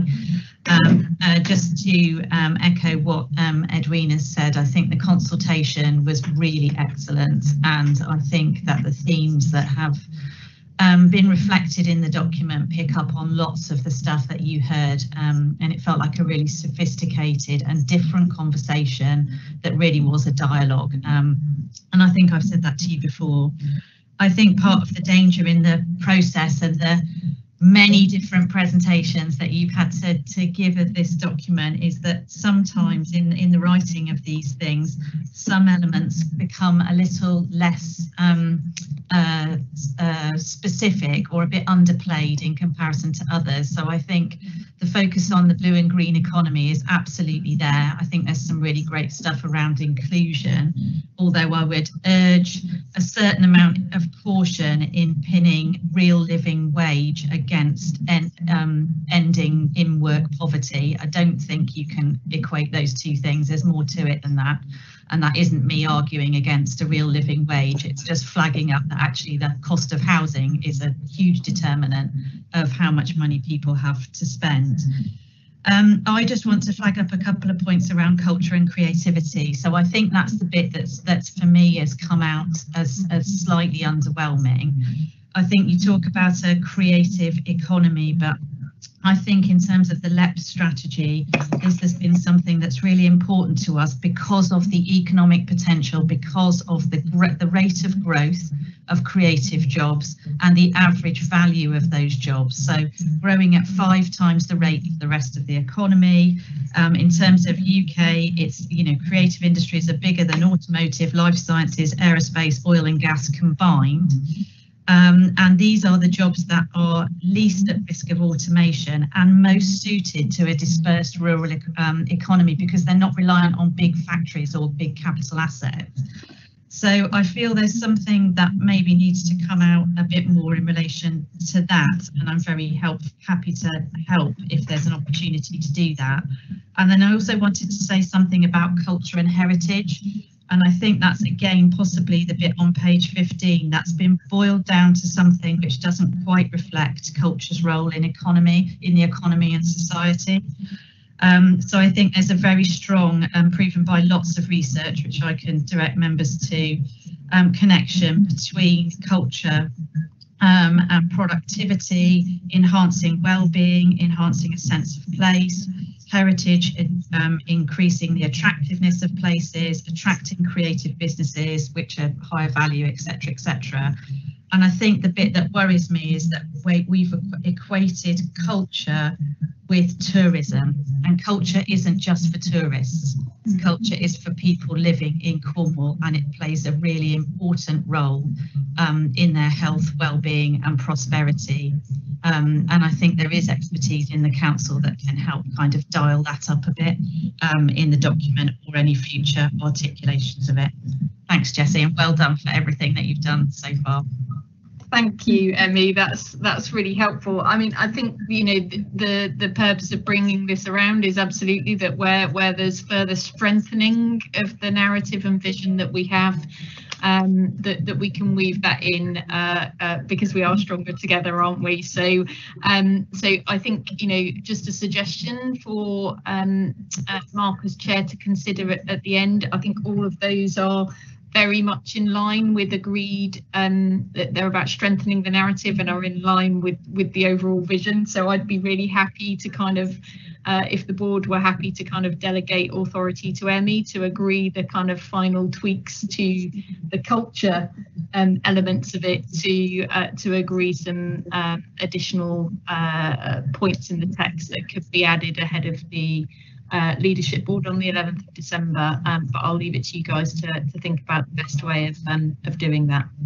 Yeah, um, I, I, I, Jesse, I'm, I'm sure the answer is going to be yes, but we've also got a couple more hands up though, so if we can maybe uh, pick up all the comments and I'll uh, I'll try to summarise at the end um, the, uh, the, the feedback. I think, I think Tim, your hand was up next. Hello, Tim. Thank you. Sorry, I was just um, un unmuting myself. Uh, a, a, few thoughts. Um, one of the um, important things about this document, and, and, and well done, Jesse, it's been a lot of hard work, is that it does actually help us in Cornwall uh, with our planning approach. Uh, the planners can refer to this document as um, the context in which we plan for the future in, in literal planning terms. So I, I think that's uh, an important thing to bear in mind. And I think from the LEP's point of view, that will be something I hope that we will want to endorse. Um, uh, I, um, I just wanted to quickly clarify a couple of things. First of all, on the culture and creative side, we've got our manifesto now, and I'm more than happy to help with those things that Amy mentioned. I don't think there's any problem uh, acknowledging that we have a strong commitment um, uh, as a council anyway, and I hope the LEP would endorse this to the creative sector and the culture sector.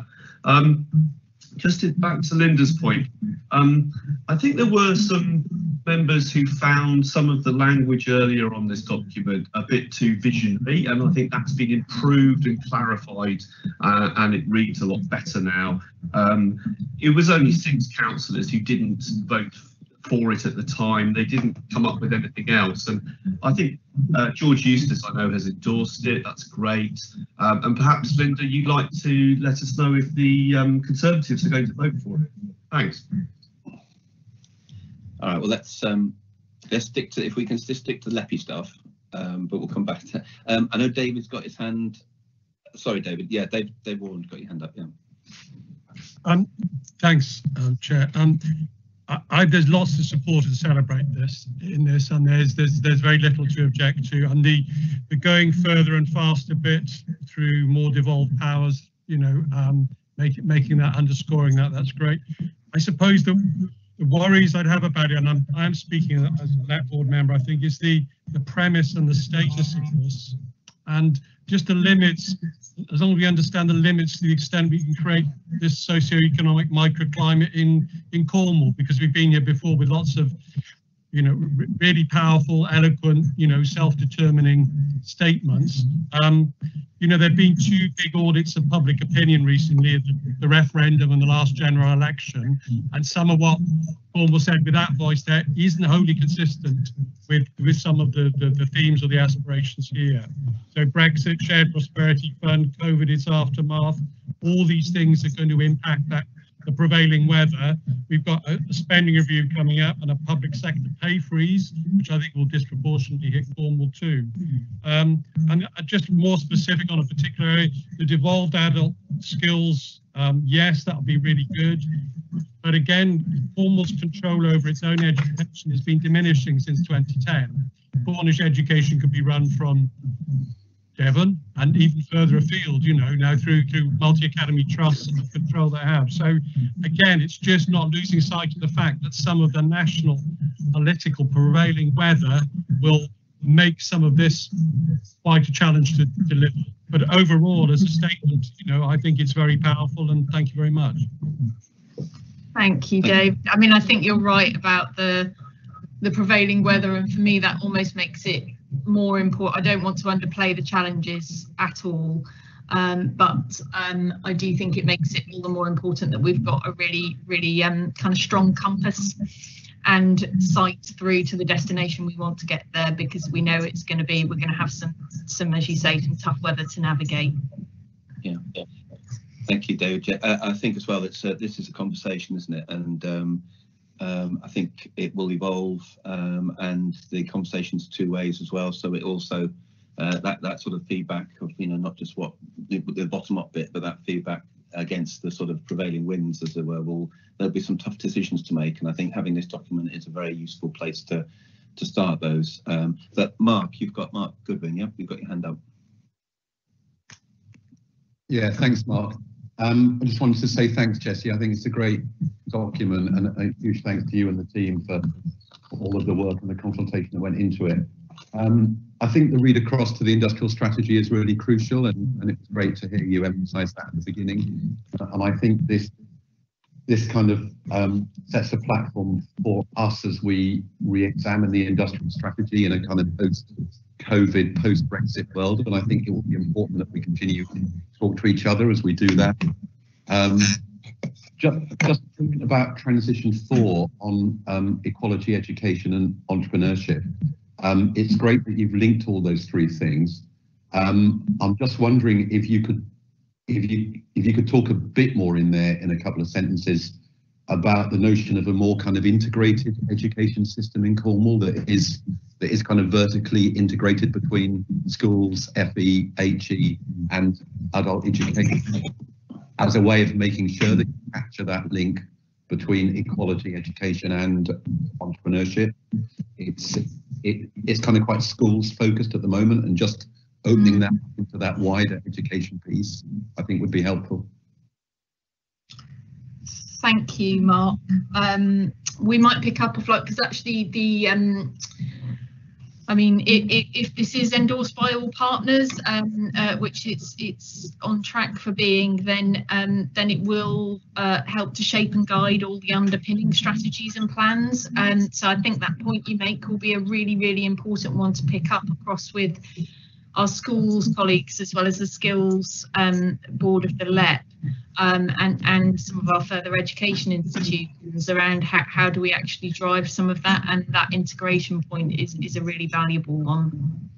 Just Jesse, on the uh, this might be something to pick up with uh, with Francis or Martins might want to come into. The ASB now includes uh, representatives from um, from schools, uh, from FE and HE. We've also got business coach um, representatives on there because we're quite conscious of adult skills, aging demographic, and and and and. and. So that that that board does have sight of the breadth of skills required, and also sort of some very energetic people from each of those sectors. So we can that might be a useful way of joining up the dots and, and building on what uh, the point that Mark made. Uh, Francis, I don't know if you want to say any more about, about that. Yeah, I just I think the um, we deliberately set out to get a full perspective of business on the Employment and Skills Board, um, which is really fabulous. But what we have got is we've got a really, really energetic headmaster from Liskeard School who has got a huge amount of drive and enthusiasm to work from the schools up and integrate activity right the way through to um, FE colleges um, and uh, universities, but also um, business representatives that are cross-sectoral. So I, am hugely excited by the board and we want to do a little bit more about that later on. Um, but I think the thing for me with the strategies going forward is that the Cornwall we want to see, um, the amount of consultation work that you've done combined with the view from business will drive us far further forward um, and and you, I'd really commend the amount of work that you've done on this this paper and and how you've um, worked with all of the other industries. The only other thing I would say is that Emmy quite rightly raised the creative sector. We are in the process of co-opting some gaps, um, one of whom, um, which was the creative, one was construction and one was the hospitality and tourism. Um, again, we've managed to target some individuals that will add a huge amount of value to those areas. So yeah, please feel free to use us as a resource going forward because certainly when it comes to that demand side, I think we'll have a much clearer idea of what, what the county actually needs. Okay. Great, Francis. Thank you very much. And I'd, I'd be really, I mean, you know, for me, um, endorsement of this vision uh, would be the starting point, not the end point for this work, actually, because it's then about how we deliver it. Um, so if you would find it helpful, I'd be really happy to join an ESB board discussion to, to, to focus on that and pick up some of the points that you and Mark have just just made. Okay. Um, yeah, thank you, Francis. Um, any other, um, Linda, I don't know if it's a new hand or an old hand. Is that um, a sort of legacy or we? No, I think lost Linda. Um, is there any other comments uh, or questions of it? And if I've, I try to sum up what I've heard, uh, and then please um, please shout if I've heard the wrong thing. I haven't seen anything else.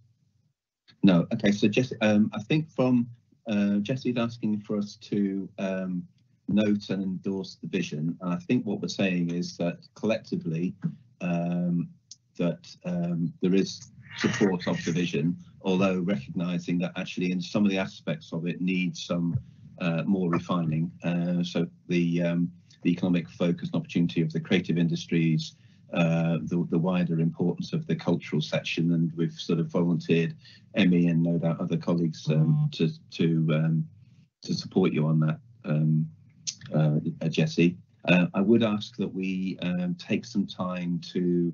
Uh, I, I absolutely absolutely we need to nail the devolution ask, but I think on the sustainable tourism, I, I think we need a bit more thinking. So, so I think directionally I say yes, but we might want to refine that.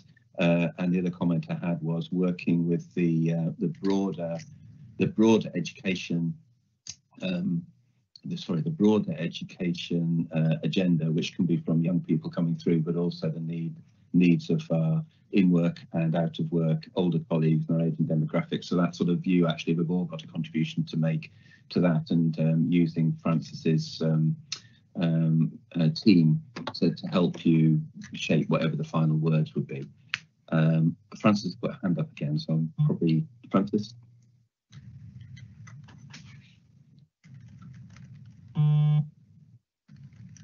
Just a mistake, Mike, Mark. I just need to, yeah, playing with the computer. Sorry. no worries. So, uh, so I think if if that's um, if that's a fair summary of that conversation, um, um, can we? I think we agreed. We oh, hang on. Sorry, we're multitasking here. Yeah, okay, but I think uh, Jesse's just on the chat tried to summarise with very few words than my waffle. Uh, so uh, approve the vision subject to agreeing amend to the cultural section, which will delegate to ME and, and take the creative. There might be some words around the creative elements of it. Um, I would actually ask to that we um, we just note uh, the importance of devolution to deliver sustainable tourism ambitions, but we will work on the specific ask uh, and an, an, intention to work with Employment Skills Board to um, uh, to um, define refine that ambition as we go on in terms of that document. So are people happy with that? Uh, and if they are, can I just ask that you put your hands up? I think is what we agreed. So if we can do that now.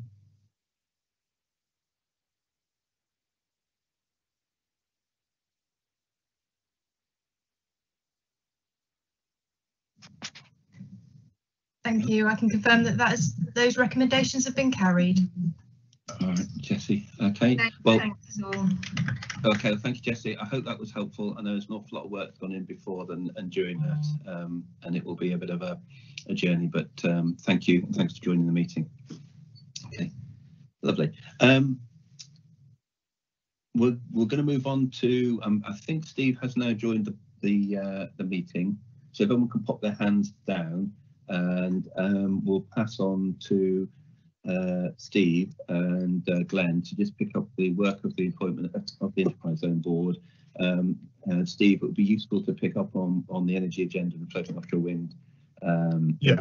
And I know the Enterprise um, Board has been um, uh, looking at the, uh, the, the work that government has uh, vindicated into Freeport. So it might be worth if I can pass on to you two to introduce all that, and then we'll take the discussion from there. Sure. Do, do you want me to start, Glenn? Yeah, happy for you to start, Steve, and yeah, then sure. I'll pick up Freeports. Yeah, yeah. What, what I'll do is I'll run down to Freeports, intro that, and then let you pick, pick that up if I may. Um, I, I, if I may as well, Mark, I'll just give people 30 seconds update on floating offshore wind because it's relevant to the enterprise zone board, but things are also um, moving at speed. Um, the reason I've been struggling to actually make time for this particular board is that we're in the vinegar strokes of getting the sale of, of Wave Hub, uh, and that's going well. That's about as much as I can say in terms of commercial agreements. Uh, we're also in the vinegar strokes of submitting the strength in places. Just to remind that 64 million um, of which 34 million is grant funding is really to put the county and Plymouth in a position to build out offshore wind 2025 onwards. Uh, we're one of seven uh, contenders for this, just been through the list, and uh, I think we're well placed. So I don't go. Uh, we think we've got a very strong, a strong ask, ask of that. Um, I think it's also perfectly timed as well. For those of you who didn't hear, the Prime Minister's financial times, it could not have been better timed for some of the things we're doing. So that's very, very encouraging. Um, it's uh, there is a lot going on it's hard work. Um, but the, the last thing that, that we've done uh, recently was that uh, with um, Mark and Glenn's support, I briefed the um, all of the Southwest LEPs. I think it was the 2nd November, Mark, and um, Minister Zahawi was in that. Uh, we pitched to him to say that essentially that the government's ambition for floating offshore was too small, uh, that, that based on our experience currently with KPMG as we're looking around the world about who wants to buy where we are, um, that actually we need bigger ambition.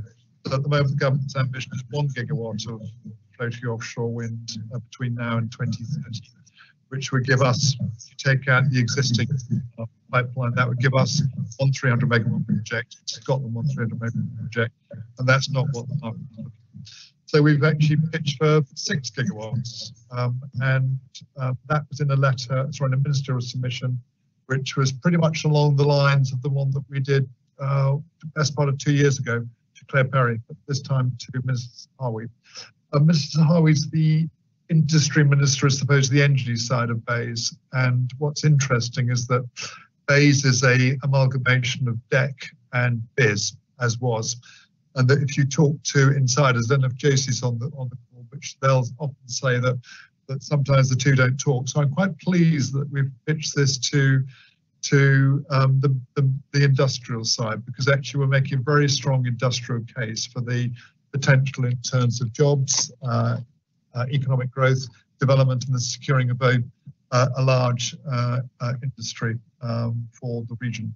So that's the context really. Um, jumping into um, the, the um, enterprise zone, I think the, the, we had a very good um, visit to A&P um, about about a week and a half ago. Actually, that was an on-site visit, and uh, that was very encouraging. We had a look at their plans as well in terms of what they're trying to do and what they're seeking. I don't want to go too much into the detail of that, other than to say that um, they're very well aligned uh, with um, uh, what we're seeking to do, um, both in the enterprise zones, but more broadly in the industry.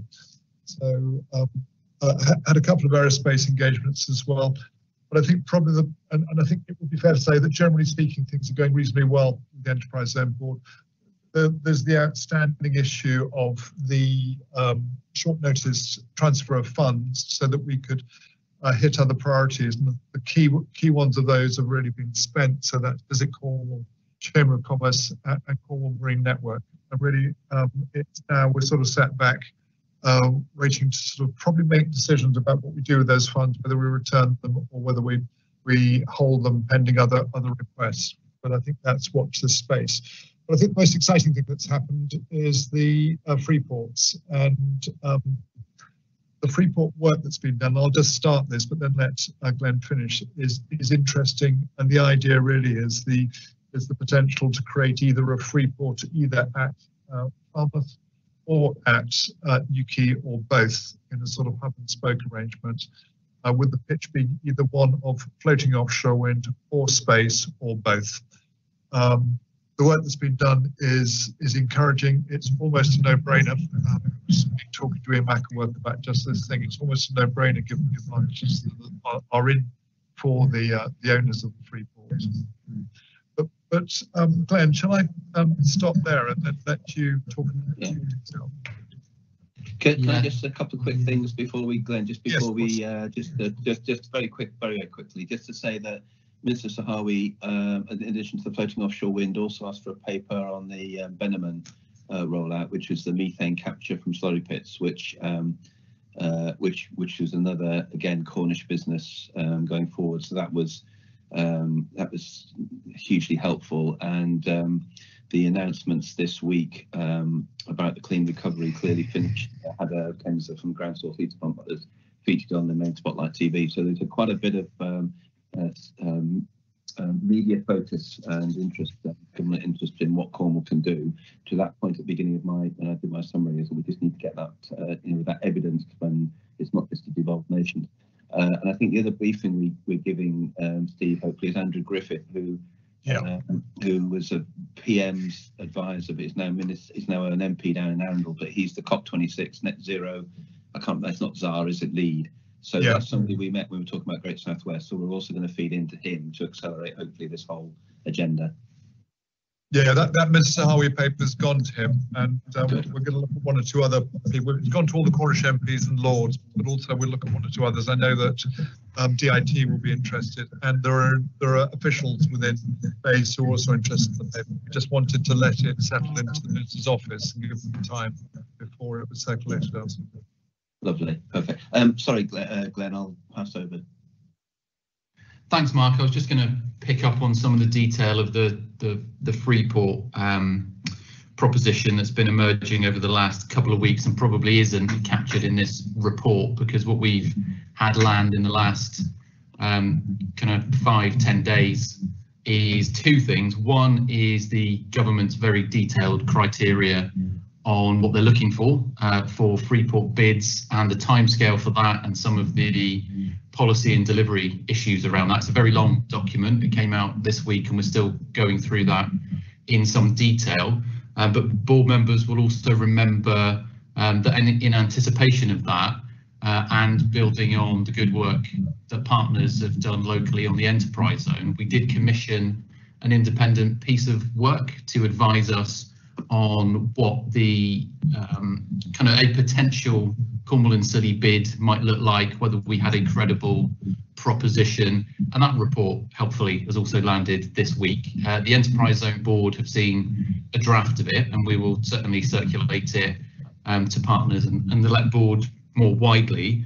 Um, I, I'll try and summarise that report. Uh, Steve will have a view about whether I've summarised it accurately. I think what that report says is that we have a credible proposition. That proposition is um, most likely to be successful based around combining the natural assets uh, and portside facilities of Falmouth Docks with um, uh, Cornwall Airport, Newquay, potentially linked to the spaceport, because that allows us to do two things which are important in the criteria. Um, one is speak to an innovation agenda, so flow, space, aerospace. Um, but secondly, um, also build on the enterprise zone uh, that we already have.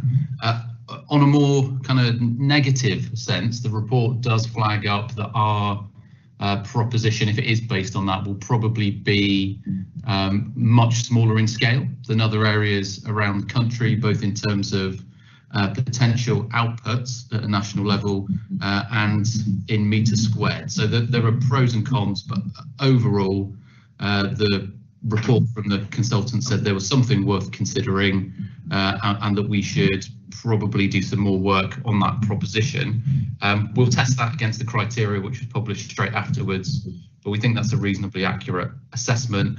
However, I think th I don't think this will come as a surprise to anyone because it has been um, Cornwall Council uh, cabinet portfolio holder for a little while now, certainly um, in Bob's time, and, and I think Tim will speak for himself, but I think also more recently with the cabinet, I think Cornwall Council cabinet are not keen to progress with a Freeport proposition that includes council assets.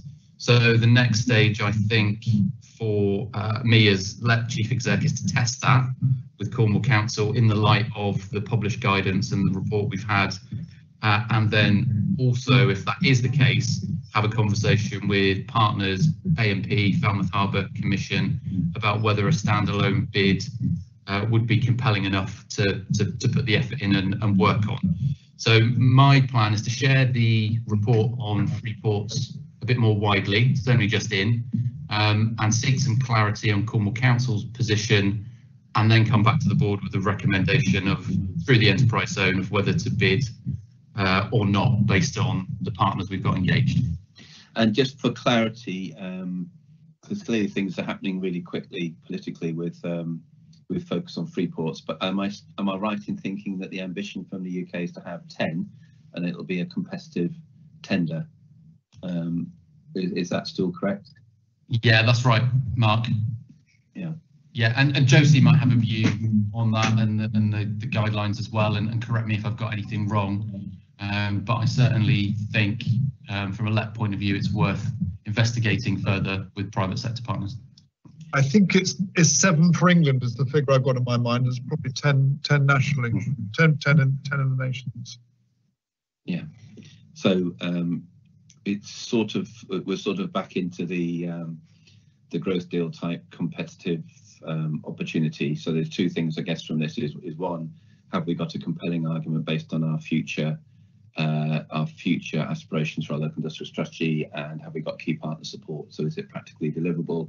And the other thing is that if we are going to be, uh, if it's going to be overwhelmed by submissions from across uh, the UK, uh, is there is there an argument in terms of um, uh, signalling our ambition uh, to, in, this respect? So I know we've got some hands up. So um, if I sort of take comments, is, is I'm, and forgive me, I think Tim went up before Linda, but Tim, Linda, got comments either this or the uh, or the work of the enterprise zone. Uh, for Tim first, maybe. Yes, thank you. I just wanted to give an update quickly on Cabinet's position. Um, broadly, uh, we are still in the position Bob was in, which is not to uh, do footport on our own land. In particular, in the current climate, the airport is all about saving the airport. That's our priority. Um, anything else could be a distraction. and also from a climate change emergency point of view, having additional um, planes arriving uh, is not something we're keen to um, promote. Um, but uh, as a LEP board member, obviously more than happy to look at what you um, uh, want to come up with in terms of Falmouth uh, my, my own personal sense is that that would be better, um, but I I think what Steve's been saying is very important. This is a deeply competitive process, um, and uh, the scale that government will be looking for, my opinion anyway, is going to be probably bigger than what we can cope with anyway. However, um, you know, if, Falmouth, the docks went for it, um, obviously um, that that's up to them. And so there we go. That's that's the update. Thank you. Thanks, Tim, and appreciate that, um, that, that you and Linda got two hats in in all of this. So, um, Linda, do you want to come in next? Um, I wanted to thank Steve. Um, Steve knows I'm a huge fan of what he's doing. I particularly like the enthusiasm and the deliverability of, of, of his particular project. So once again, Steve, thank you very much. Um, I'm really pleased that the LEPO perhaps considering a standalone bid. Uh, I just think the the excitement of a free um, free ports are tremendously exciting for Cornwall. I particularly like the fact, you know, that this could be this opportunity to turbocharge, drive investment and create jobs. So I'm I'm looking forward to seeing how the LEP are going to be dealing with this. Thank you. Thank you. Um, thank you, Linda. And if guys could take your hands down when you you stop so you don't confuse me. I think the other thing is um, it, wherever this um, piece of work ends up, this is going to be based on the future opportunity of um, of Cornwall. So the scale now is undoubtedly tiny compared to is what Cornwall could be for UK PLC. So in itself, this is going to reinforce our our LIS credentials, be it around clean growth, uh, energy, um, space, whatever. Are there any other comments from people on um, on not just Freeports, but on the Progress Enterprise Zone Board and um, the energy discussion generally?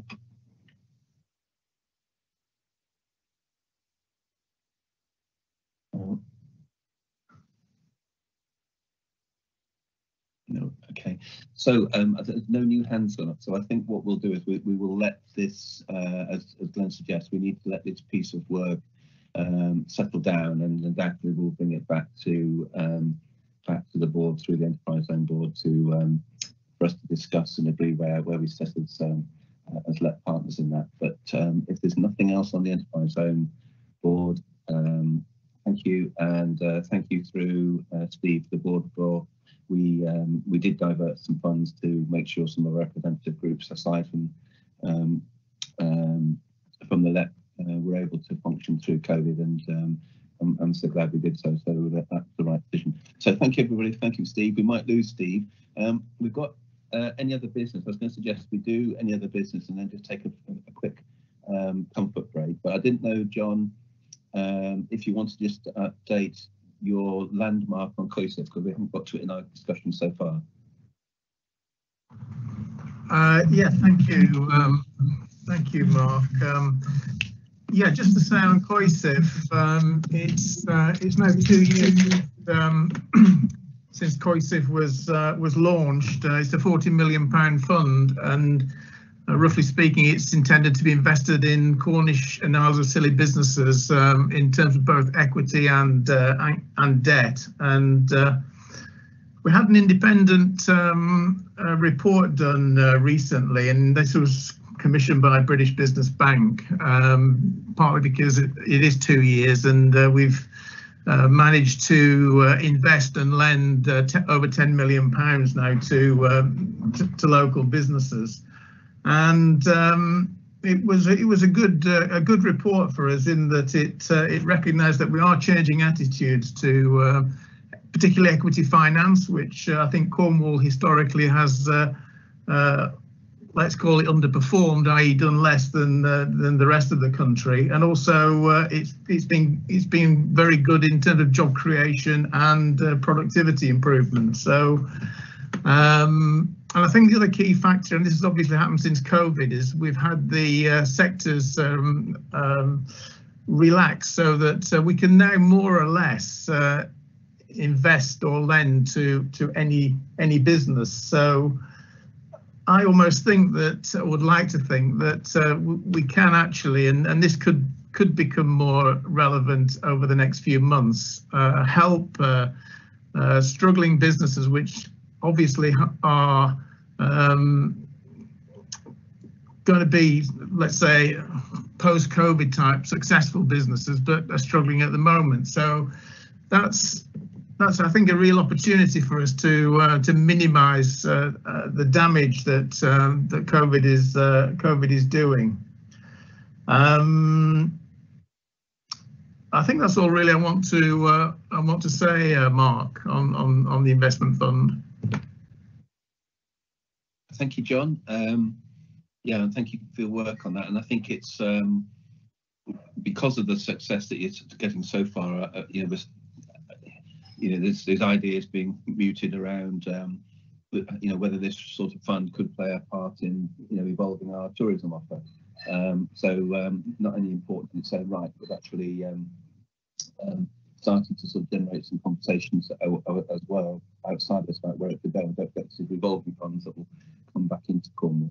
Um, yeah, I think can I, can I just say it, it is probably worth mentioning, and I am spending quite a bit of time on this. That, that there is a, a, sort of national um, uh, move, if you like, and this is outside of government uh, to uh, to set up uh, regional sustainable funding uh, for the for the post-COVID situation, i.e., climate change, etc. And um, um, I mean, one of the key interesting phrases I, I saw on this was that uh, you know this this will happen um, not because of government but in spite of government. So there's a real private sector focus on this because it's all tied in with uh, impact reporting, which uh, is um, is going to I think ultimately go into businesses alongside uh, financial reporting to, to, to recognize the fact that um, businesses have to uh,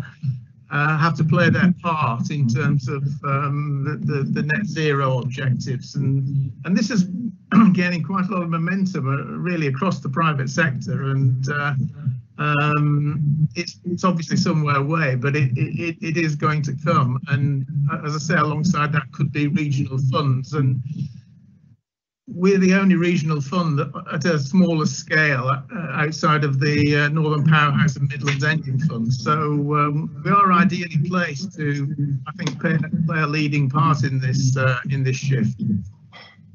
Yeah, uh, which um, I think in all the future devolution conversations, I know we've lost Jesse now, is something we must keep reminding people of our particular skill set here.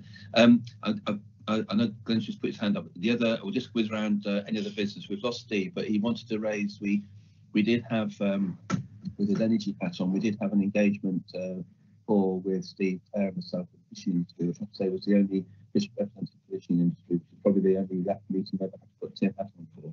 Uh, but it was extremely useful meeting in that we've um, uh, we've uh, moved that debate on. So we are now through Claire's rural group, but also the energy group.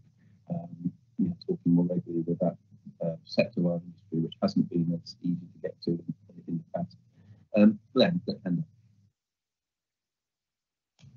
Yeah, sorry, Mark. You were. Uh, I think you covered mainly what I was going to say around. Um, was going to say two things. One was uh, thanks to John for all the um, guidance and uh, work he's put into making the investment fund a success. I think he's played a really key role uh, in chairing the board uh, and getting that moving. Uh, so, so many thanks from an exec point of view to John. And also, I was just going to make the point about um, this is one of the few um, regional investment schemes in the country. It does put us around the same table as Northern Powerhouse, Midlands Engine, uh, Wales in terms of de devolved administrations. So this is a great example of um, Cornwall and Scilly uh, getting a, a, a, program up and running, taking a strategic lead, uh, and as time goes on, increasingly delivering on it. So I just wanted to, to say this is probably uh, one of those things we would use as evidence um, to be making a, a, difference to businesses on the ground, but also um, leading the way nationally as well.